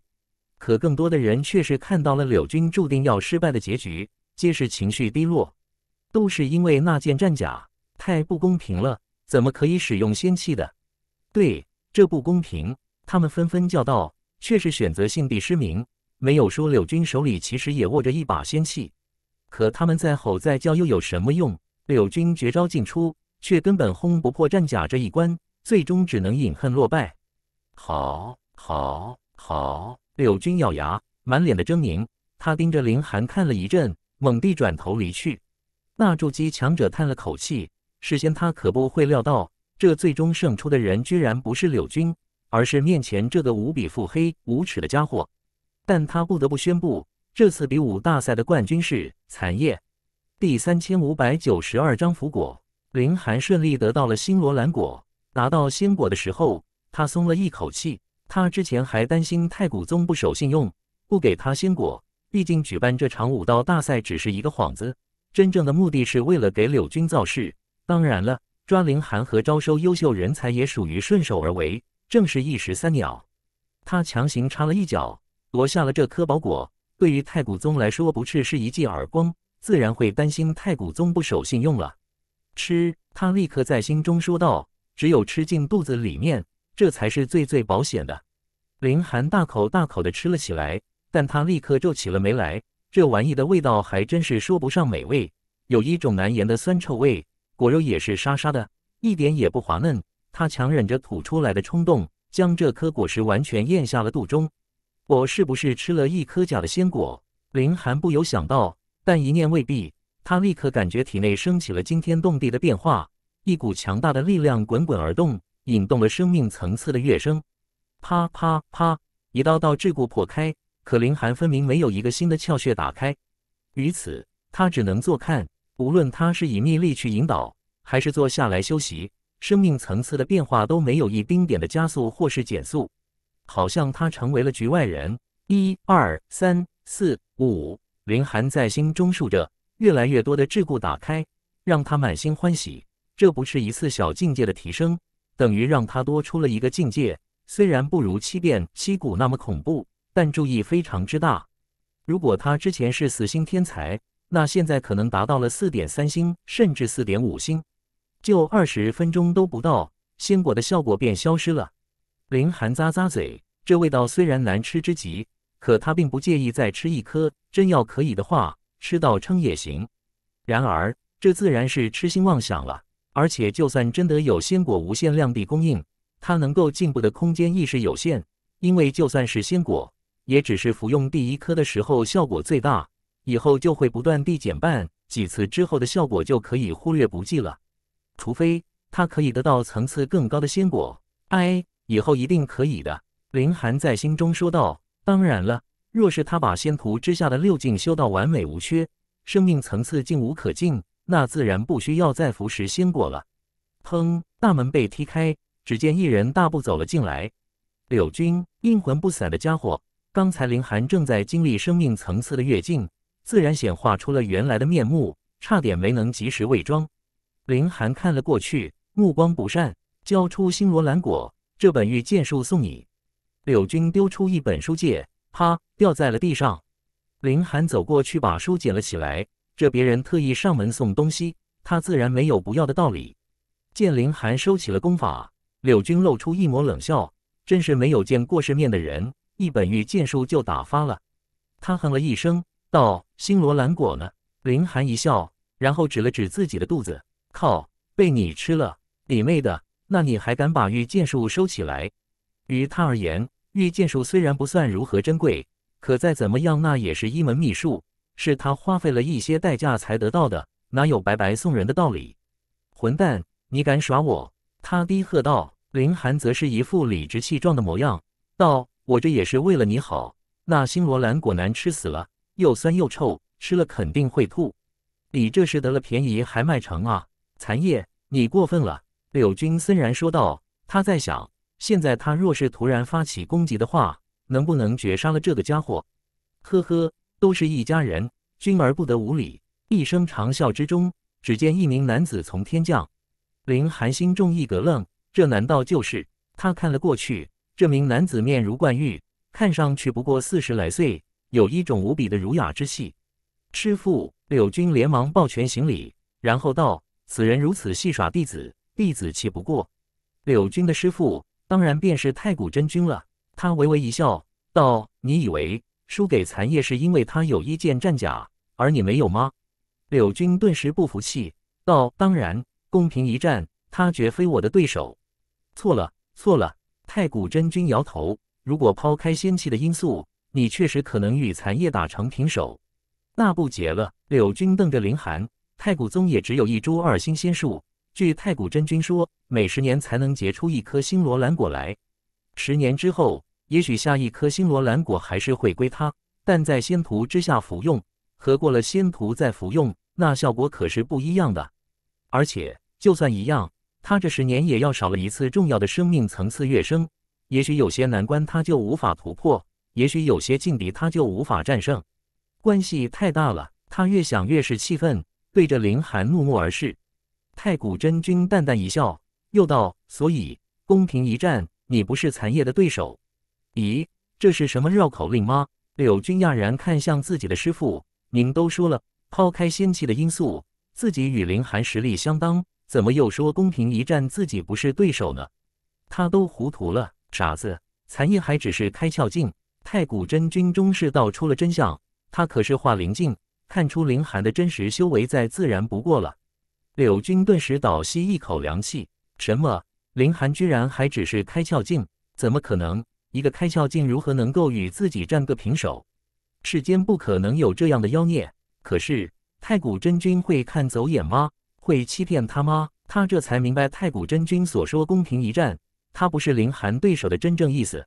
要是将他的修为压制到开窍境，他怎么可能是林寒的对手？差的不是一星半点，而是天与地一般。他失魂落魄，这个打击真是太大了，让他无法接受。太古真君则是看向林寒，道：“残叶，你可愿意拜本座为师？”林寒心中念头飞转，抱拳道：“自然愿意。”哈哈哈哈！太古真君大笑：“好，好，好！一个月后，本座为你开个拜师大会，召请天下。这个弟子的资质太好了，他一定要借此机会公告天下，一是显摆一下。”二是告诉其他人，千万别对他打什么主意。柳军刚刚才回过魂来，听到这话，顿时又受到一万点暴击，只想吐血。第三千五百九十三章灵泉阵法。林寒这个弟子天赋太过妖孽，所以太古真君打算办一个隆重无比的收徒大会，昭告世人。可不只是九灵真君才收了一个天才无比的洪天部，这倒也省了林寒一些麻烦。因为要他现在向太古真君行拜师大礼的话，那也太别扭了。一个月的时间，林寒想到足够他把太古宗逛上几圈，找出宝库之类的存在，然后下手跑路。至于残叶这个人吗？当然是从此之后便完全消失了。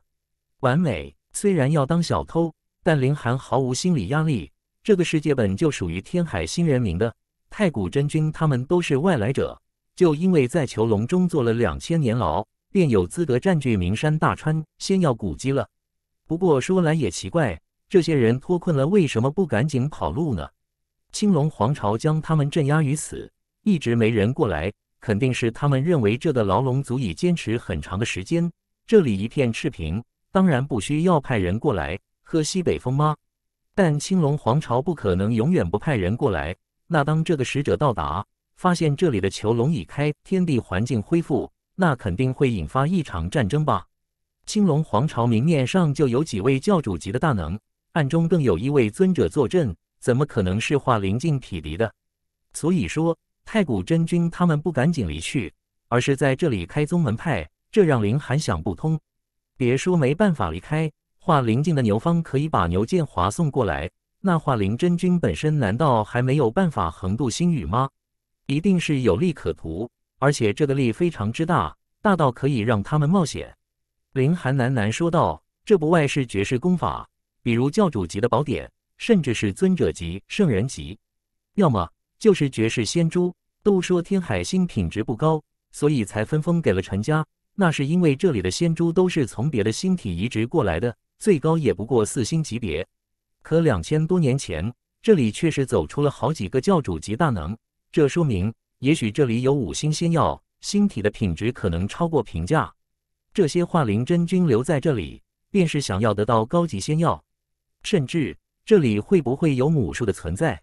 林寒的脑海中突然闪过一个大胆的想法：一个星体只能有一株仙药母树，但并非每个星体都能诞生母树，对星体本身有极高的要求。按理说，天海星是不可能诞生母树的，品质差的太多。可陈家先祖猴哥等人纷纷冲上了教主级，那就让这一切都存了变数。有一点是肯定的：两千多年前，青龙皇朝覆灭了陈家王朝，肯定大搜了天下，却并没有发现母树或是高阶点的仙药。这是因为时间未到，仙药才不显化吗？又或者完全没有如此复杂？化灵真君们在等某座古迹的开启，捞一票再走。林寒头大了，他得到的资料太少，完全不足以拼凑出真相来。算了，不管这些化灵真君是不是要捞一票就走，我肯定是捞一票走人。林寒开始在太古宗内转了起来，以他现在准宗主弟子的身份，去什么地方基本没有人敢阻挡他。但有三处地方例外。夜晚，他披上虚空兽皮，将这三个地方一一探索。一处是灵泉，在这里天地之力无比浓郁，都是化成了物态。而以灵泉辅助炼丹的话，那效果可以提升好几成，甚至翻倍。灵寒眼热，这灵泉可是能够用来炼制仙丹的。虽然他现在还没有迈进仙途，没有资格炼制仙丹，但这一天并不会远。不过，这灵泉还真是少，一个泉眼不过瓶口大，里面就那么半葫芦左右的液体，老半天才会孕育出一滴来。林寒并没有立刻动手，他得先把另外两个地方看一下。但第二处地方他就不好进了，有一名筑基强者坐镇，可以轻易识破他的伪装。林寒便只好先去第三个地方，虽然没有强者坐镇，但有阵法的光辉闪动，密密麻麻，根本无法接近。阵法之中藏着一个宝库吗？林寒尝试着破解，但这可是仙徒级别的阵法，哪是他看上几眼就行的？他苦苦思索，然后以虚空兽皮所载的东西相比对，想要寻找出破阵之法。一晚过去，林寒无奈撤回。不急，时间还有很多。清晨，他照常修炼，但大白天的他却是休息了起来，脑海中则全是那座阵法。他开启了瞳术。看到了很多东西，晚上他再去，三天下来，他终是有了一点眉目。这个阵法并非太古真君又或是其他人布下的，而是原本就存在的。阵师是一个极其罕见的职业，天地大事无比的复杂，没有这方面的天赋，便是穷尽一生的精力也无法掌握一二。这里的人都是原本被镇压在牢笼之中的，要是有阵师的话，那还关得住吗？所以。林寒可不相信这个阵法是现在布下的，而是早就存在的，只是以前没有开启罢了。这个世界经历了太多的变化，天地大事肯定发生了巨变，而阵法又是建立在对于天地知识的运用上，所以现在这个阵法肯定会出现破绽，不再像以前那么完美。一定可以破的。又是四天后，林寒虽然没能破开阵法，可他却是迎来了又一次的生命层次提升。他再次冲开了九个窍穴，修炼速度暴增。听说别人每次只能打开一个窍穴，可我却是九个九个一开，我果然牛叉。林寒毫不谦虚地自语。在开九个窍穴之后，林寒立刻意识到开窍镜的重要性。如果说他在明文境吸纳天地之力的速度为十的话，那么打开九个窍穴之后，这个速度就变成了十五，现在则是二十。这么一比较。就可以看出窍穴数量对于修炼的影响。只打开三十六个窍穴便突破的，在修炼速度上要比第二阶、第三阶差了多少？而且这是永远的差距。还有隐穴，所以差距会更大。林寒更加坚定了要打开隐穴的想法。这可不只是提升一点战力的事情，而是有着无比深远的意义。再去研究阵法，第三千五百九十四章毁灭能量。一个月的时间其实很快的。林寒产生了急迫感，他一定要趁着拜师会开始之前打开阵法，离开太古宗。真要在众目睽睽之下拜太古真君为师的话，那他会恶心无比的。哪怕他现在用的只是化身，所以万一真的无法破开阵法，那他只好挖了灵泉跑路。距离一个月还有十五天、十天、七天，林寒终于有了重大突破。他决定今天晚上试试。夜深时，他再次来到了阵法之前。他发动瞳术，再做了一次观察，点点头。这里原本没有破绽，但天地巨变，对阵法却是产生了一定的破坏，所以没有破绽也有了破绽。他纵身一跃，落入了阵法，阵法的光辉扬动，但并没有向他发起攻击。林寒露出笑容，他的判断正确，他也有些后怕，这万一失误的话，那引动阵法轰击，他就只能穿上战甲保命，能不能成还是个问题。再来，他身形纵起，向前迈进，阵法还是没有发动，似乎并不存在一般。林寒开启了瞳术，寻找着天地之势突变的地方，这就是节点，也是阵法的破绽之处。一步又一步，花了近半个小时的时间，他终是走出了阵法。前方是一间屋子，不大，处于整个阵法的中心。林寒轻轻一推，门便开了。当然了，都有这么厉害的阵法保护，还需要上锁。屋子里到处缀着夜明珠，让这个屋子在晚上也并不黑暗，柔和光线洒落，仿佛月光。宝物咧，除了这些明珠之外，这里可以说是家徒四壁。只有正中间的地方放着一只石桌，一只石凳，而石桌上还有一张纸。嗯。应该也是兽皮吧，与人一种厚实的感觉。难道又是一块虚空兽皮？不过也太小了吧！林寒怀揣着希望，走到了石桌边，一屁股坐了下去，然后看向兽皮。他立刻露出了惊喜之色。这是一张灵图，沟通的是一种毁灭性的暗能量。林寒看了一眼之后，灵魂好像被抽进了一个奇异的空间之中，到处是黑暗无比的能量，无论冲袭向什么，一切皆灭。嗡，他体内的微面齐齐震动，好像在共鸣，又好像是喜悦，让林寒身体一震，灵魂立刻归位。他打了一个踉跄，差点摔倒。怎么回事？他一看，不由骇然，因为他刚才不知不觉间便已双手撑在了石桌上，可现在被他按着地方，却是生生少了两块，呈巴掌状，而他的手上则是多一层黑暗无比的能量。要知道，他根本没有动用秘力。只是这么一按，石桌就生生少了两块，这是何等恐怖的破坏力！林寒情不自禁地又伸出手，在石桌上一按，手掌所处，石桌的部分便立刻消失，好像从来都不存在一般。这是湮灭之力吗？林寒一惊，他什么时候掌握了那张灵图？居然沟通了这毁灭，还是黑暗，又或是湮灭能量？他心念一动，散去了手上的能量，再重新去看那张灵图。严格来说，他并没有完全掌握了这张灵图，只是学到了一些能够引动一部分的毁灭能量，就叫毁灭能量吧。这玩意真是充满了毁灭性。林寒继续看，他再次被拉进了那黑暗空间中，意识与肉身脱离，直到体内位面齐振，他才再次醒了起来。然后他对于毁灭能量的掌握便又多了一分。古怪，好像掌握毁灭能量的不是他，而是体内的位面。林寒抓头。这能够突破七变七古七纹，是因为他体内位面的生灵之力。可现在莫名掌握了这毁灭能量，又居然是体内位面的功劳，这能不让他觉得奇怪吗？要不是这些位面、这些生灵都是他自己孕育出来的，他都要怀疑是不是陷入了某个强大存在的布局之中。哪怕灵魂老是会断片，林寒还是控制不住自己，继续去研究这张灵图。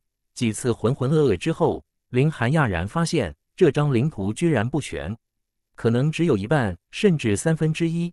他学是学到了，但并无法将毁灭能量催发到极致。林寒想要把灵图收起来，却发现这玩意收不进空间法器里。难怪这份灵图摆在了这里。他点点头，正因为收不进空间法器中，太古真君又想研习，便只能布个阵法来保护。所以这里有桌有凳，就是供这位真君在这里研习之用。看这桌凳上都没有灰尘，显然太古真君一直都在研究这幅灵图。也就是说，他还没有掌握这毁灭能量。奇怪，我一下子就学会了，有什么难的？不对，我本身并没有去学，而是身体在学，自然而然就会了。就好像我天生就应该会似的。靠，难道这灵图还和神识有什么关系不成？林寒的头有些炸。一块神石能够孕育出一个无比复杂的原世界，这本来就是无比奇怪的事情。那么，这块兽皮或者说这个毁灭能量与神石有关，必然也大有来头。不能留在这。林寒将兽皮收了起来，塞进了怀里，然后离去。偷了如此重要的东西，在太古宗显然是带不下去了。这玩意一搜就能搜出来，那就走吧。林寒又绕了一趟灵泉处，把灵泉取了个干净。收进了空间法器中，还想填满的话，估计没有几年时间是休想的。走人了。林寒借着虚空兽皮悄然下山，然后恢复了本来面目，大摇大摆而行。啾，一道人影飞落，挡在了他在前面。赫然是牛建华手下的一名老仆。不过对方显然没有将林寒认出来。老伯有何贵干？林寒微笑着问道。去吧。老者只是在林寒的身上扫了一圈，便挥挥手，一副不耐烦的模样。不，林寒点点头，大步而去。等等，老者又追了上来，对着林寒多看了两眼，眉头皱起。你的背影有点眼熟。林寒不动声色道：“老伯见过我没有？”老者再次摇头，觉得自己是多疑了，再次挥了挥手：“去吧。”第三千五百九十五章天降小萝莉。牛建华还真是小心眼，居然在太古宗的门口堵自己，就不怕激怒了太古宗，出动强者将你们灭了吗？林寒回头看看，这里已经出了太古宗，而那四名老者也没有怎么样，因此才没有引出什么麻烦来。老帮子们，待自己迈进仙途之后，看谁吊打谁。林寒觉得不保险，在远远地离开之后，取出虚空兽皮披在身上，然后离开了大道。才刚刚进入了丛林之中，咻咻咻！只见五道身形破空而至。刘建华和他的四个老仆，等等，一二三四五，五个仙徒强者。林寒讶然，牛建华居然筑基了。想想也是，他错过了缥缈峰，又没有得到星罗兰果，还不突破仙途干嘛哩？汪泉，本少说过多少次了，宁可错杀，也不放过。只听牛建华森然说道。既然你觉得那人的背影很像那个恶贼，你便应该将他留下。难道你不知道有易容之术可以改变人的形貌吗？汪泉便是之前拦下林寒的老者，他现在只有如如应试的份，谁让他放走了林寒呢？幸好现在也只是怀疑，要是确定被他放跑的正是残叶，估计牛剑华生生剁了他的心都有。那只是个凡人，跑不远的，给我找。牛建华又说道：“是。”少爷，四名老者都是飞奔而出。奶奶的，不就是敲了你一板砖，至于如何记恨吗？林寒暗叫可惜。如果牛建华还是寻秘境的话，这时他就可以演过去，再给对方一板砖。但仙徒，呵呵，估计林寒接近到十丈范围时，对方便能识破，那就成自己送上门了。这个仇记下了。林寒转身，悄然离去。披了虚空兽皮之后。林寒的速度当然不快，一个晚上也就行出了几百里。待天亮之后，他先修炼，然后继续以虚空兽皮裹身而行。太古真君应该很快就会发现灵图失窃，而残叶又失踪了，肯定会派出高手前来追捕他。虽然他已经改变了形貌，但还是小心一些的好，毕竟他的本来面目肯定也在太古宗的通气榜上。他向着帝都进发，但因为裹着虚空兽皮。速度快不了，但这没有关系，只要再离开一些，确认安全，他就可以全力赶路了。白天过去，晚上林寒没有再赶路，而是裹着虚空兽皮，打算睡上一觉。待修炼完毕之后，他就全力赶路。啾！一道流星在林寒的头顶同现，不会这么巧，又砸我头上吧？林寒在心中吐槽道。然而他很快就露出了震惊之色。因为这颗流星还真是向着他直砸而来，你妹的！林寒连忙展开咫尺天涯，砰砰砰！这可是森林，到处都是树。林寒瞬间爆发出了恐怖的高速，一路不知道撞断了多少树，这才停了下来。但看看距离，他也只是离开了十来里。幸好这一路都是树，以林寒现在的体魄之强横，这样的撞击还能承受。咦？林寒露出讶然之色。流星明明已经坠地，却为什么并没有任何的动静？被狗吃了？他好奇，连忙往回赶。十来里路自然是转瞬之间的事情。回到原地附近，林寒跃上一株大树，俯瞰下去，不由张大了嘴巴。那并非什么流星，而是一艘飞梭，通体呈银色，完美的流线性充满了无上的美感。他这是什么体质？怎么天上落下来的东西，不管是陨石还是飞梭？都喜欢往他身上砸呢。林寒反省，难道是因为他屡屡打破天地极限，才会被天地记恨，想用这种方式抹去他吗？就在这时，飞梭的舱门打开，跳出一个人来，然后这人就没了。不是突然人间蒸发了，而是这个人太小，被飞梭挡住，看不见了。啾，飞梭不见了，这才是人间蒸发了，好像从来都不存在似的。而在原地。则是多了一个看上去只有六七岁的银发小萝莉，脸蛋儿精致无比，一双眼睛大大的，充满了天真和狡黠。奇怪，这两个截然不同的特质怎么会出现在一个人的身上？咿呀呀，这个世界的天地灵气怎么恢复了？小萝莉满脸的奇怪之色。爷爷不是说这至少还要一千年吗？本魔王特意选择了自己，要成立一个大大的王国，再在王宫里塞满了帅哥，天天给本魔王喂点心。这个小小的愿望要不能实现了，难道本魔王飞错地方了？这里不是天海星，还是爷爷一直在骗我？嗯，这个老头子总是骗小孩，靠不住。银发小萝莉咬着一根手指，似乎是在思考。过了一会，她一拍双手。先找个人来问问。他取出一只千里眼，拿起来一张一望，很快千里眼便对上了林寒。不是吧？这都可以看到。土著银发小萝莉冲着林寒叫道：“还真是被发现了。”林寒一边从树上跃下来，一边则是想到：这千里眼是什么宝物？居然可以看破虚空兽皮的伪装？咦，原来是个帅锅！银发小萝莉眼睛一亮：“帅锅，想不想吃奶糖？”他果然掏出了一颗糖来，在那一晃一晃的，林寒不由就囧了。你是想用糖来泡自己吗？他第一时间就意识到这个小萝莉是个问题儿童。好啊，他笑道。银发小萝莉却是将手缩了回去。那你可不能白吃，以后要背着我走，喂着我吃，哄着我睡。啧，条件还真是多。林寒哈哈一笑，一块糖就想把我收买了？不行。我可不是那么随便的人。银发小萝莉急了，道：“我这个糖可好吃了，是用金云牛乳为原料，再加入恒灵之泉、天雾莲果，融合一百零八种辅料。”林寒讶然：“金云牛成年后可是真我境的存在，能够挤它的奶？小萝莉的是什么豪门中出来的？诺，给你一块肉，换不换？”他从空间法器中取出一块肉脯，呵呵。银发小萝莉皮笑肉不笑。还翻了他一个白眼，靠！你真只有六七岁吗？林寒摊了摊手，不换就算了，再见。第三千五百九十六章问题儿童，别走，别走啊！银发小萝莉追了上来，帅锅锅，你叫啥呀？林寒乐了，这小丫头也太早熟了，而且也太不怕生了。你就不想一下，我可能把你拐卖了吗？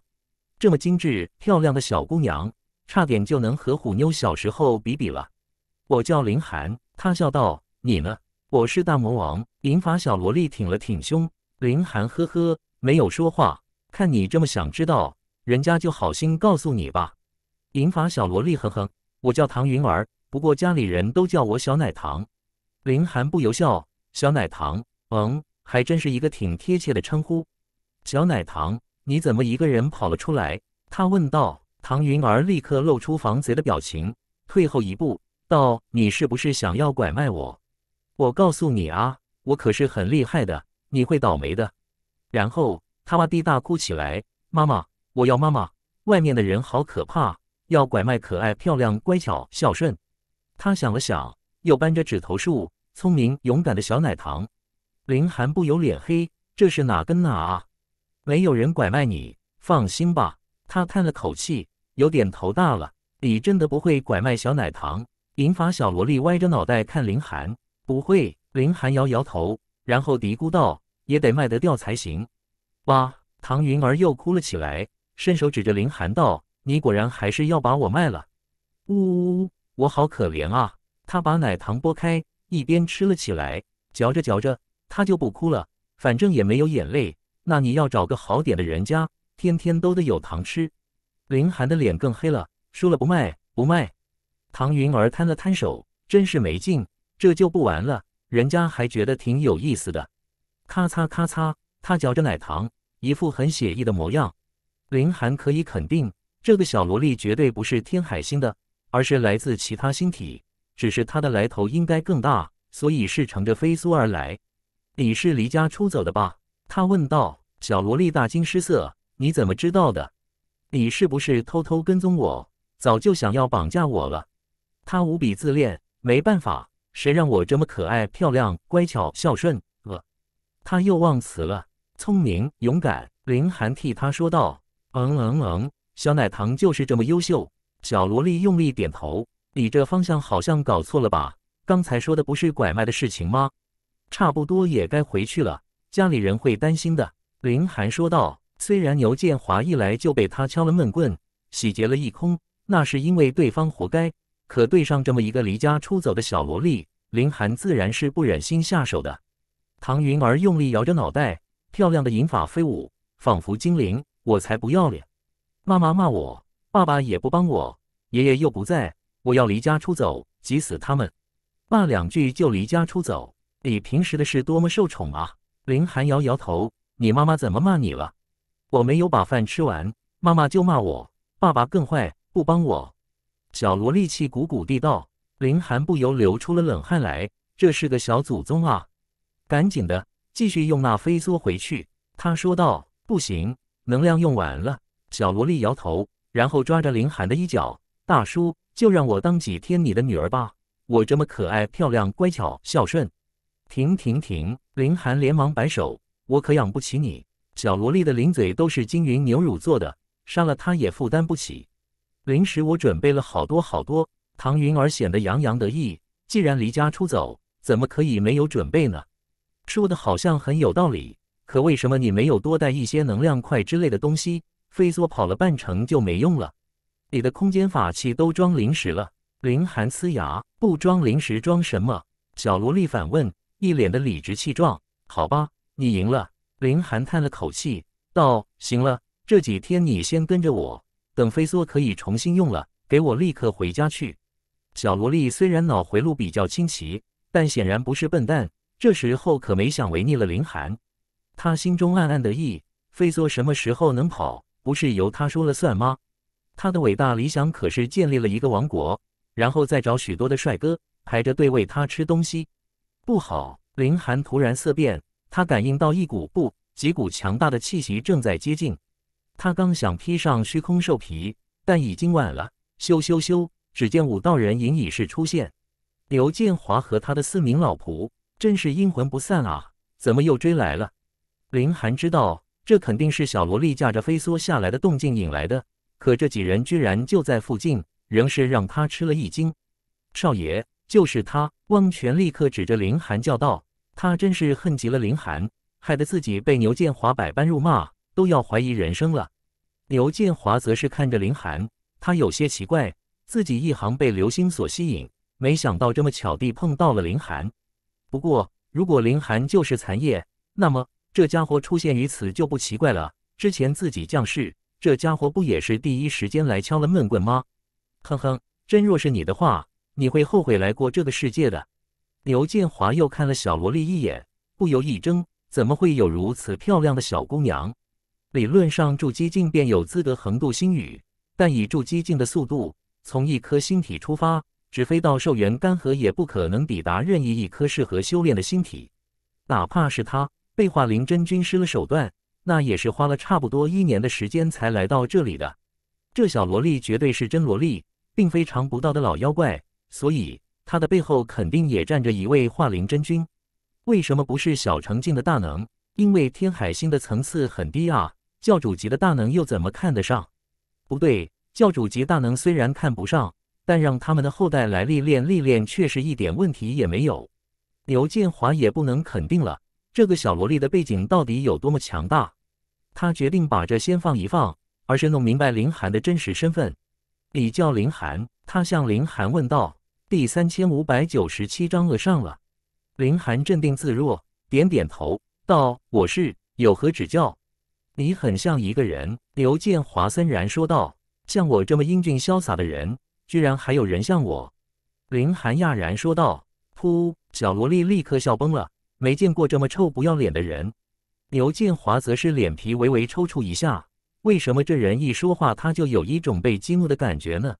从这点来说。他和那个残叶还真是像了，宁可错杀也不放过。拿人，他下令道：“是少爷。”四名老者都是轻蔑地看着林寒，对付一个小小的开窍境，他们哪一个出手都是十拿九稳的，所以他们都是慢慢逼近，一点也不着急，而是给予林寒巨大的压力。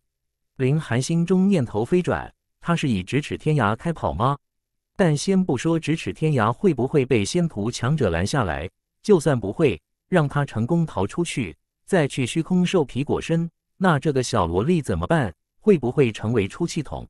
你们想要绑架可爱、漂亮、乖巧、孝顺，嗯，还有聪明、勇敢的小糖糖？小萝莉颤抖着说道，一副受到惊吓的模样。可林寒看他的眼神，却又哪里有半点害怕，而是充满了兴奋。作为一个专注于坑人的专家来说，林寒可以百分百地肯定，这小萝莉是要搞事情啊！坏蛋出现，召唤神龙变身。小萝莉一边叫一边跳，还摆了一个很让人羞耻的姿势。但不可思议的是，一片银光从他的身上涌出，确切地说是一颗扣子，然后将他包围。待银光散去时，只见小萝莉已经包裹在了一套银色的战甲之中。看到这，牛建华的第一反应就是这是他被洗劫的第二副战甲，但他立刻否定，这套战甲是完全不同的。虽然也是银色，但上面绘制着十分夸张却幼稚的图案，打死他也不会穿在身上。臭不要脸的绑匪！我要成立一个大大的王国，做个大魔王，你们就做我的奴仆吧！小萝莉兴奋无比，杀了出去。在战甲的说明之下，他的速度快得惊人，砰地一下就将一名老者撞飞。厉害，这是极道之力！小爷小心！剩下三名老者纷纷叫道。被撞飞的老者也爬了起来，嘴角边有血。他是助天机，被极道之力撞上一下，自然是足够他喝上一壶的。难受无比，牛建华凛然。一是小萝莉现在的战力极是惊人，二则是小萝莉明明还没有踏上仙途，可在一副战甲的帮助下，却是拥有了极道之力。这说明了什么？这件战甲的品质高的惊人，远远超出他那两件。他有些心痒，若是他可以得到的话，又能将战力提升到何等地步？铸鼎吗？可随便就能拿出这种战甲的人，其背后的势力又会何等强大？而且，人家一个小姑娘能单独跑出来吗？家里的大人肯定就在附近，强夺的话，那惹出背后的大的就要倒霉了。他又怎么可能想到，这小萝莉居然是离家出走的问题儿童？走！他轻喝一声，率先离去。他也只是怀疑林寒就是残叶，要为了这个怀疑就得罪一个神秘而强大的势力，这种事情自然不是他这么聪明的人会干的。哈哈哈哈！知道本魔王的厉害了吧？小萝莉一蹦一跳的，显得兴奋无比。林寒无语，牛建华也算是流年不利了，居然撞上这么一个不靠谱却又强大无比的小萝莉。啪！小萝莉身上有银光闪动，那战甲如同水一样，居然流动起来，然后化成了一只飞梭。咦，变化错形状了！小萝莉喃喃说道。然后飞梭再变，咻，就突然消失了。林寒看着小萝莉，没有说话。是不是被本魔王的武力吓到了？唐云儿得意洋洋地道。林寒哼了一声，道：“刚才是谁说的？飞梭的能量已经用完了。之前的战甲分明就是飞梭的一种形态，哪里用完了能量？”小萝莉一吐舌头，糟糕，露馅了。她露出讨好的笑容：“帅锅锅，你在说什么？人家听不懂啦。”赶紧回去。林寒扇扇手，这个问题儿童还是赶紧回去的好。真要因为他而惹出教主级甚至尊者级的大能来，那乐子就大了。不回，小萝莉赌气，嘟着个小嘴。林寒再说，他也不睬林寒，真是个小孩子。林寒拍拍屁股，既然你不听话，我也懒得管你。他迈步就走，没走几步，林寒回头，只见小萝莉正跟在他的身后。见他看了过来，他连忙将脑袋撇开，一副我根本不想搭理你的模样。林寒再走。小萝莉还是紧紧地跟着，为什么要跟着我？林寒停下脚步问。唐云儿倒是不赌气了，道：“因为帅锅锅你是好人，被一个六七岁的小萝莉发好人卡，这是一种怎样的体验？”林寒摇摇头：“你怎么知道我是好人？告诉你，我可是大坏人，什么杀人放火、贩卖小孩的事情都干。”这回小萝莉却是一点也不怕，只是嘻嘻地笑，听起来好好玩的样子。我们什么时候去杀人放火？杀人会有血嘞，人家怕怕；放火可好玩了，人家经常玩，就是每次完了之后都被妈妈打屁股。林寒以掌加额，这不是普通的问题儿童，而是超级问题儿童。他造什么孽了？居然撞上了这么一个小祖宗！哎，他叹了口气，哎，小萝莉也学着叹气。看来自己被讹上了。好吧，我暂且照顾你几天，但你必须尽快与家里取得联系，让他们来接你。”林寒说道。现在他也不放心让小萝莉一个人走，因为谁知道他又会飞去哪里？好吧，既然你非要照顾人家，人家就勉为其难，让你照顾两天好了。小萝莉一副很无奈的模样，你可不要得了便宜还卖成？林寒只觉牙疼，嘿嘿。唐云儿露出讨好的笑容。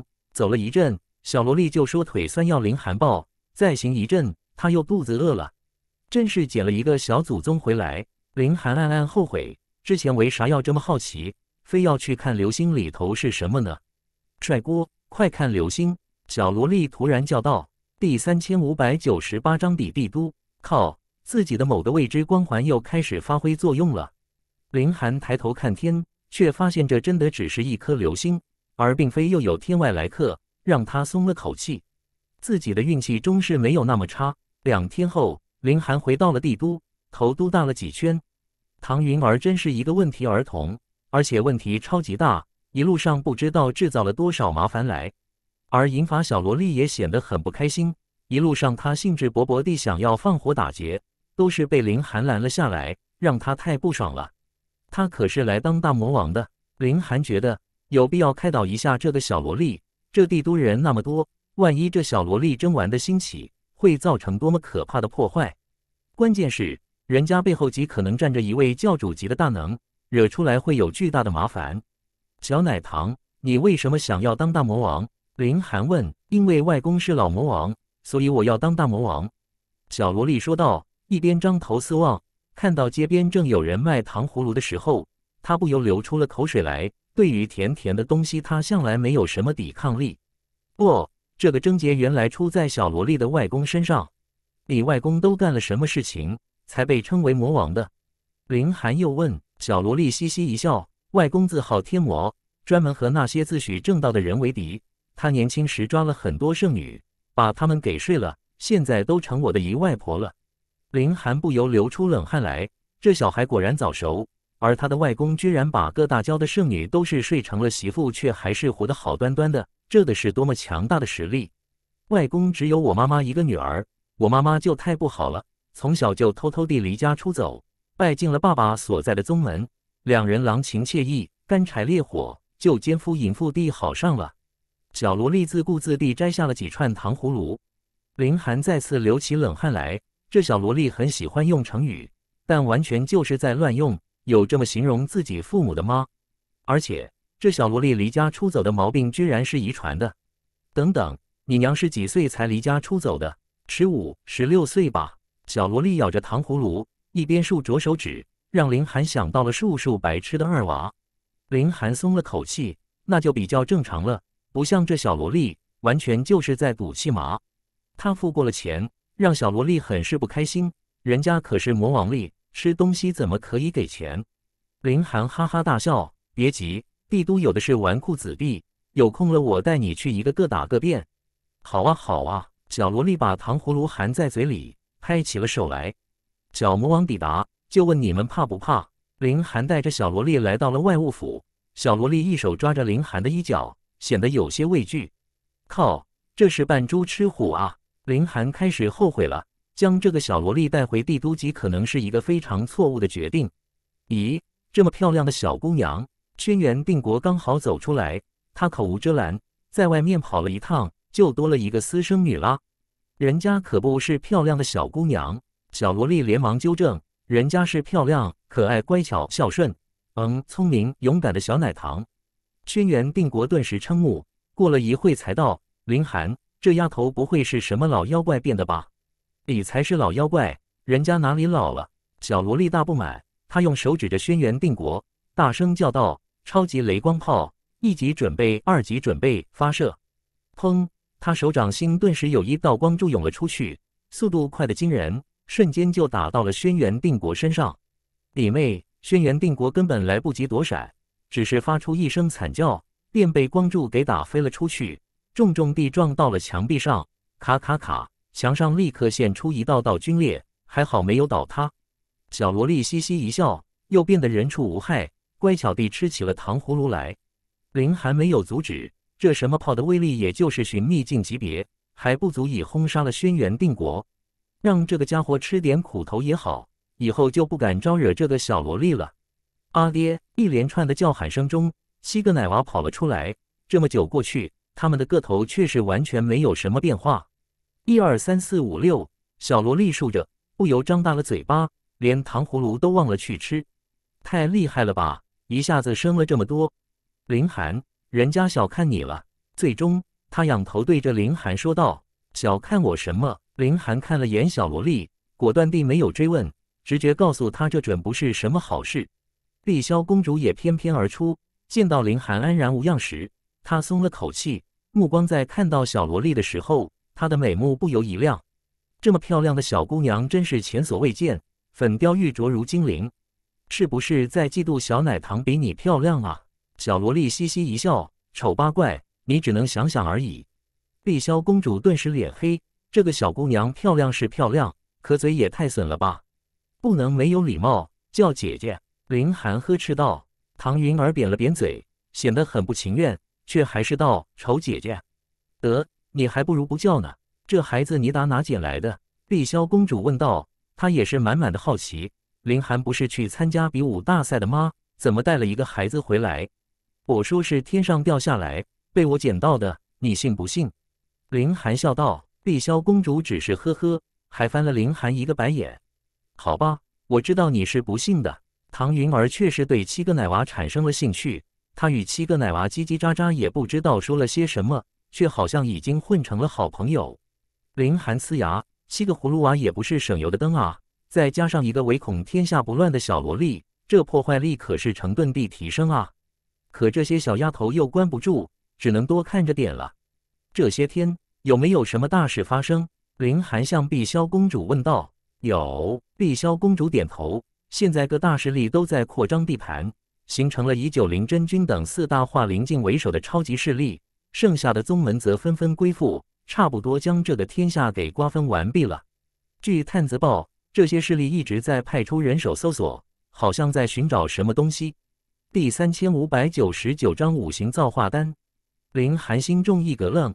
果然如此，太古真君脱离了牢笼，却居然在这里开宗立派，这本来就非常的不合理。只有一个解释，他们想在这里得到什么？可能是功法，可能是仙珠，可能是法器。但能够肯定的是，无论这件东西是什么，必然无比的珍贵，值得他们冒这样的险。天知道青龙皇朝会不会心血来潮，派人过来查看一下。而今之事，我们外务府看来也没什么能干的了。林寒皱眉，现在的小势力都是投靠了中等势力，中等势力则是投靠了大势力。虽然不如国家那样的大一统，可在驱动这些小势力，就是和化灵境的势力公然对抗，这是不智的。没有想到囚龙之中居然有化灵真君，否则以陛下之能，一手即可镇压。碧霄公主也感慨道：“放出眼线，监听天下，那几个化灵真君在这里留恋不去，肯定所图不小。”林寒说道：“好。”碧霄公主点头。林寒看着天空，夕阳如血一般的艳红，好像在预示着一场可怕的杀戮即将进行。他甚至想到，陈风言冒险成立玄北国，是不是也在寻找那件宝物呢？否则的话，他作为陈家余孽，肯定更遭青龙皇朝忌惮，除之而后快。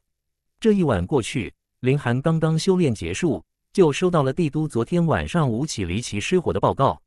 他的第一反应就是小萝莉和七个奶娃，将这些小家伙都是叫了过来，都不用他问，小萝莉便已经兴奋地将他带着七个奶娃放火的事情给说了出来。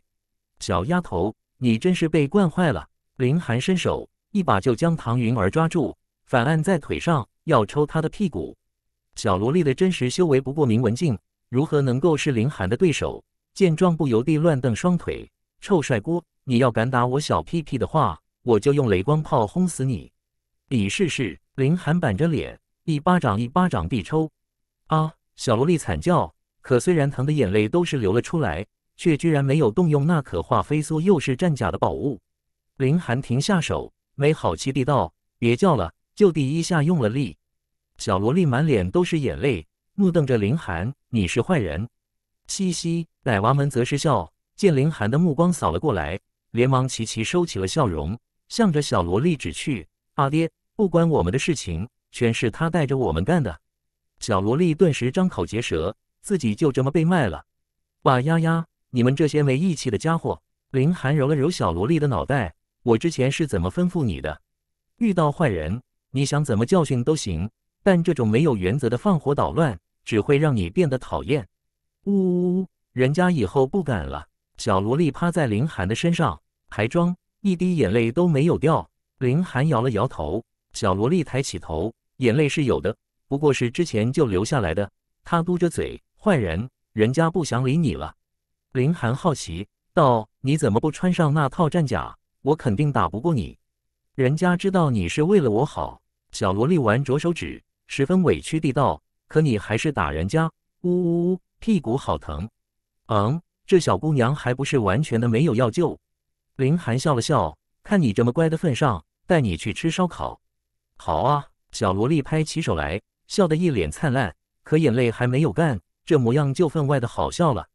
阿爹，我们也要吃！奶娃们纷纷叫道：“好，都去吃！”林寒还把碧霄公主拉上，不然的话，他一个人对付八个问题儿童真的有点吃力。两个大人带着七个奶娃、一个小萝莉出门，在烧烤店坐下后，店里的人莫不频频看了过来。这是一个大美人啊，那个小萝莉也美得冒泡啊。六个小娃子更是可爱无比，啧，这一家人可真是会生，尤其是六个奶娃，肯定是一包所生。这个大美人的肚子是怎么装下来的？碧霄公主浑不知道自己已经升格成了母亲级别，而且还是能够一口气怀上六个的超级妈妈，否则的话，她绝对会暴走的。帅锅锅，看你一心一意为小奶糖着想的份上，人家就指点指点你吧。小萝莉一边扒着肉串。一边含糊不清地说道：“这让林寒想到了虎妞，这丫头的本事就大了，能够一边吃一边说，毫不影响。与他们相见也近了，林寒的心跳加速了一下，然后才道：‘哦，小奶糖老师打算怎么指点我？’他也就随口一说。小萝莉哼哼道：‘人家用宝光眼看过，你打破了差不多七成的束缚，而你现在才刚入开窍境，显然是想要冲破体内全部的枷锁吧？’”林寒惊讶，这小萝莉居然能把自己看得这么通透。然后呢？他问道，这次表情就严肃多了。你是很厉害啊，但是照你这么修炼下去，到寻秘境尽头的话，最多也只是打碎九成的桎梏，不可能达到十成的。小萝莉说道：“你有什么办法让我达到十成？”林寒顿感兴趣。当然，小萝莉傲然说道：“说说看。”林寒道。小萝莉却是拿起了架子来。人家渴了，林寒倒了一杯茶递过来，喝吧。人家吃的有点热。小萝莉又道。林寒拿出扇子给他扇了起来。人家的屁股疼。小萝莉嘟起了嘴。你差不多也见好就收吧。林寒笑道，透着一种危险的信号。小萝莉果然不再拿架子，而是道：你现在需要一颗五行造化丹，这可以帮你冲开许多人体枷锁，再加上你的努力，达到空灵纯净之身。应该就没啥问题了。碧霄公主在一边听得眼红，插口道：“那我能不能吃？人家先帮你看一下。”小萝莉取出那只千里眼，瞄上了碧霄公主，还不断地将千里眼移来挪去，一副观察入微的模样。怎么样？你看到了什么？碧霄公主问道。这小萝莉又拿捏了起来，不再说话。红色的内衣，小萝莉将千里眼放了下来。碧霄公主瞬间俏脸通红。这什么小孩啊！第三千六百章前往月华星，看到碧霄公主的玉颈都是一片通红时，林寒就知道小萝莉肯定是说中了。这位妖族公主现在穿的是红色内衣，啧啧啧，看不出来啊！这妖族公主外表清纯，内心中居然还有很狂野的一面。你有什么意见吗？碧霄公主看了过来，冷冷说道。可林寒连忙错开话题，免得被杀人灭口。向着小萝莉道：“那什么五行造化丹又该怎么弄？简单，采五行精元，然后炼丹呀。”小萝莉摊了摊手：“就这么简单？”林寒可不相信，又问：“那五行精元又怎么采？去五行之力最是浓郁之地，好多星体都有的。”小萝莉漫不在乎地道：“他顿了一下，好像在思考什么，才道：距离这里最近又符合条件的。”就是月华星了。月华星，林寒顿时一格愣。月华星就是青龙皇朝所在的星体，也是一颗大星，能够孕育出四极境的尊者。那里五行之力浓郁，可以形成五行金元，这倒是不出林寒的意料。只是他才只是一个小小的开窍境，怎么可能跨越茫茫星宇去往另一个星体呢？你的飞梭借来用用。他立刻将主意打到了小萝莉的身上。行，谁让你是人家喜欢的帅哥呢？小萝莉倒是一口就答应了下来。林寒详细了解了一下，不由皱起了眉来。像月华星这种大星体上，五行之力无比浓郁，会分别演化出极炎、极寒、极金等天地伟力之地。比如极炎之地中，火焰会化成各种形态，攻击进入之人，杀之便能得到一丝火焰精华。无数无数的火焰精华凑到一起，便能化为火焰晶元。在此类推，五种元素的晶元都是这么来的。集齐之后，就能炼成五行造化丹。问题是，要凝成一块火焰晶元，需要的火焰精华多的惊人。一般来说，杀上个一百年，应该可以凑出一块火焰晶元来。那么要集齐五种晶元，又需要多久？五百年。群秘境又能活多少年？也就五百年左右。这全部用来收集五行精元了。就算炼成了五行造化丹又如何？哪怕没死，这寿元也干涸了，生命机能降到了谷底，还去强行冲开体内桎梏，只是在送死罢了。不过也不是没有办法解决。强大的势力可以出动许多人同时进入，一起收集，比如火焰精华。最后再给一个人，那就可以将时间不断地缩减。但是，无论是火焰精华还是别的五行精华，都不能带出去，否则会立刻消失。只有凝成了晶元之后才行。这就让五行晶元变得更加稀有和珍贵。理论上，五行晶元是可以出售的，但通常没有人会干这样的事情，花的代价实在太多了。通常来说，只有大教才会动用无数的人手去培养传人。不是圣女就是道子，小萝莉最后总结道。不过呢，像人家这种天生神体，生下来就没有一道桎梏，所以也不需要这么麻烦，就是那么完美。他又十分自恋地道。林寒讶然，这小萝莉居然是天生神体，则真是上天无眼啊！他立刻做出决定，要前往月华星。那个碧霄外务府就交给你了。妖族公主不由郁闷，到底谁才是外务府的府主？你前脚才回来，后脚就又要走了，我欠你的。可最后他只是点了点头。你小心一点，千万不要惹事。月华星可不是这里，那是一颗武道成熟的大星，天才的数量肯定远远超过这里。林寒在这里可说是同阶无敌，但到那里就不好说了。回了外务府之后，林寒就开始了积极准备，他会把奶娃们都带过去，帮着他一起收集五行精华。大大节省他的时间，不然真要几十年甚至百年之后回来，那不知道会变成什么模样。他坚信自己的实力，别人需要百年时间，他可能只要十年，而再加上奶娃们的鼎力相助，这个时间还能更短。刚好他还可以在那里修炼，将修为推到寻秘境的极限，待迈进仙途之后再回来，到时候就去和洪天部干一架，永远地解决这个历史问题。做好啦！小萝莉取出飞梭，这其实只能做一个人，但谁让它小呢？与林寒挤一下也没有问题。啾，飞梭立刻化成了一道流光，向着天空挤射。林寒回头看，帝都瞬间就缩小成了一个点。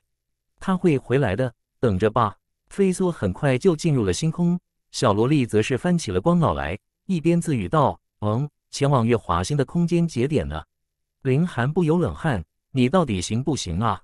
找到了，小萝莉拍手笑道：“操控着飞梭，黑暗的宇宙之中，时间好像失去了意义，只有永恒的不变。”但突然之间，林寒感觉到了一股强大的拉扯感，眼前一黑又一亮，只见飞梭已是出现在了另一个星空中，绝不是原来的空间。林寒可以从远处发光的恒星做出判断，现在这颗要大上许多倍，而且还有一道道蓝焰喷涌，浩荡的能量涌动。冲啊！小萝莉兴奋地叫道，操控着飞梭横冲直撞，哪有陨石带就往哪里撞，好像生怕飞梭撞不坏似的。哈哈哈！她发出笑声，不亦乐乎。小丫头，快找下一个节点。林寒连忙叫道：“不！”小萝莉点点头，一脸的不情不愿。空间节点是宇宙中极特殊的地方，从一个节点可以快速跳跃到另一个节点，从而节省大量的时间。但是节点可不是想穿就能穿的，而是要在通过的时候达到极高的速度。不同的节点穿越时需要的速度又不尽相同，但通常来说，需要的速度越高，那跨越的距离就越是大。这飞梭的速度达到了教主级别，所以。从天海星到月华星只需要短短的两个月，让林寒郁闷的是，这两个月他并没有办法修炼，因为完全吸收不到天地之力，而养元葫芦也无法转化出滋养精神的能量。总而言之，星宇中绝对是最最贫瘠的地方。两个月后，飞梭撞入了月华星的大气层，顿时激烈燃烧起来，化成了一颗火球。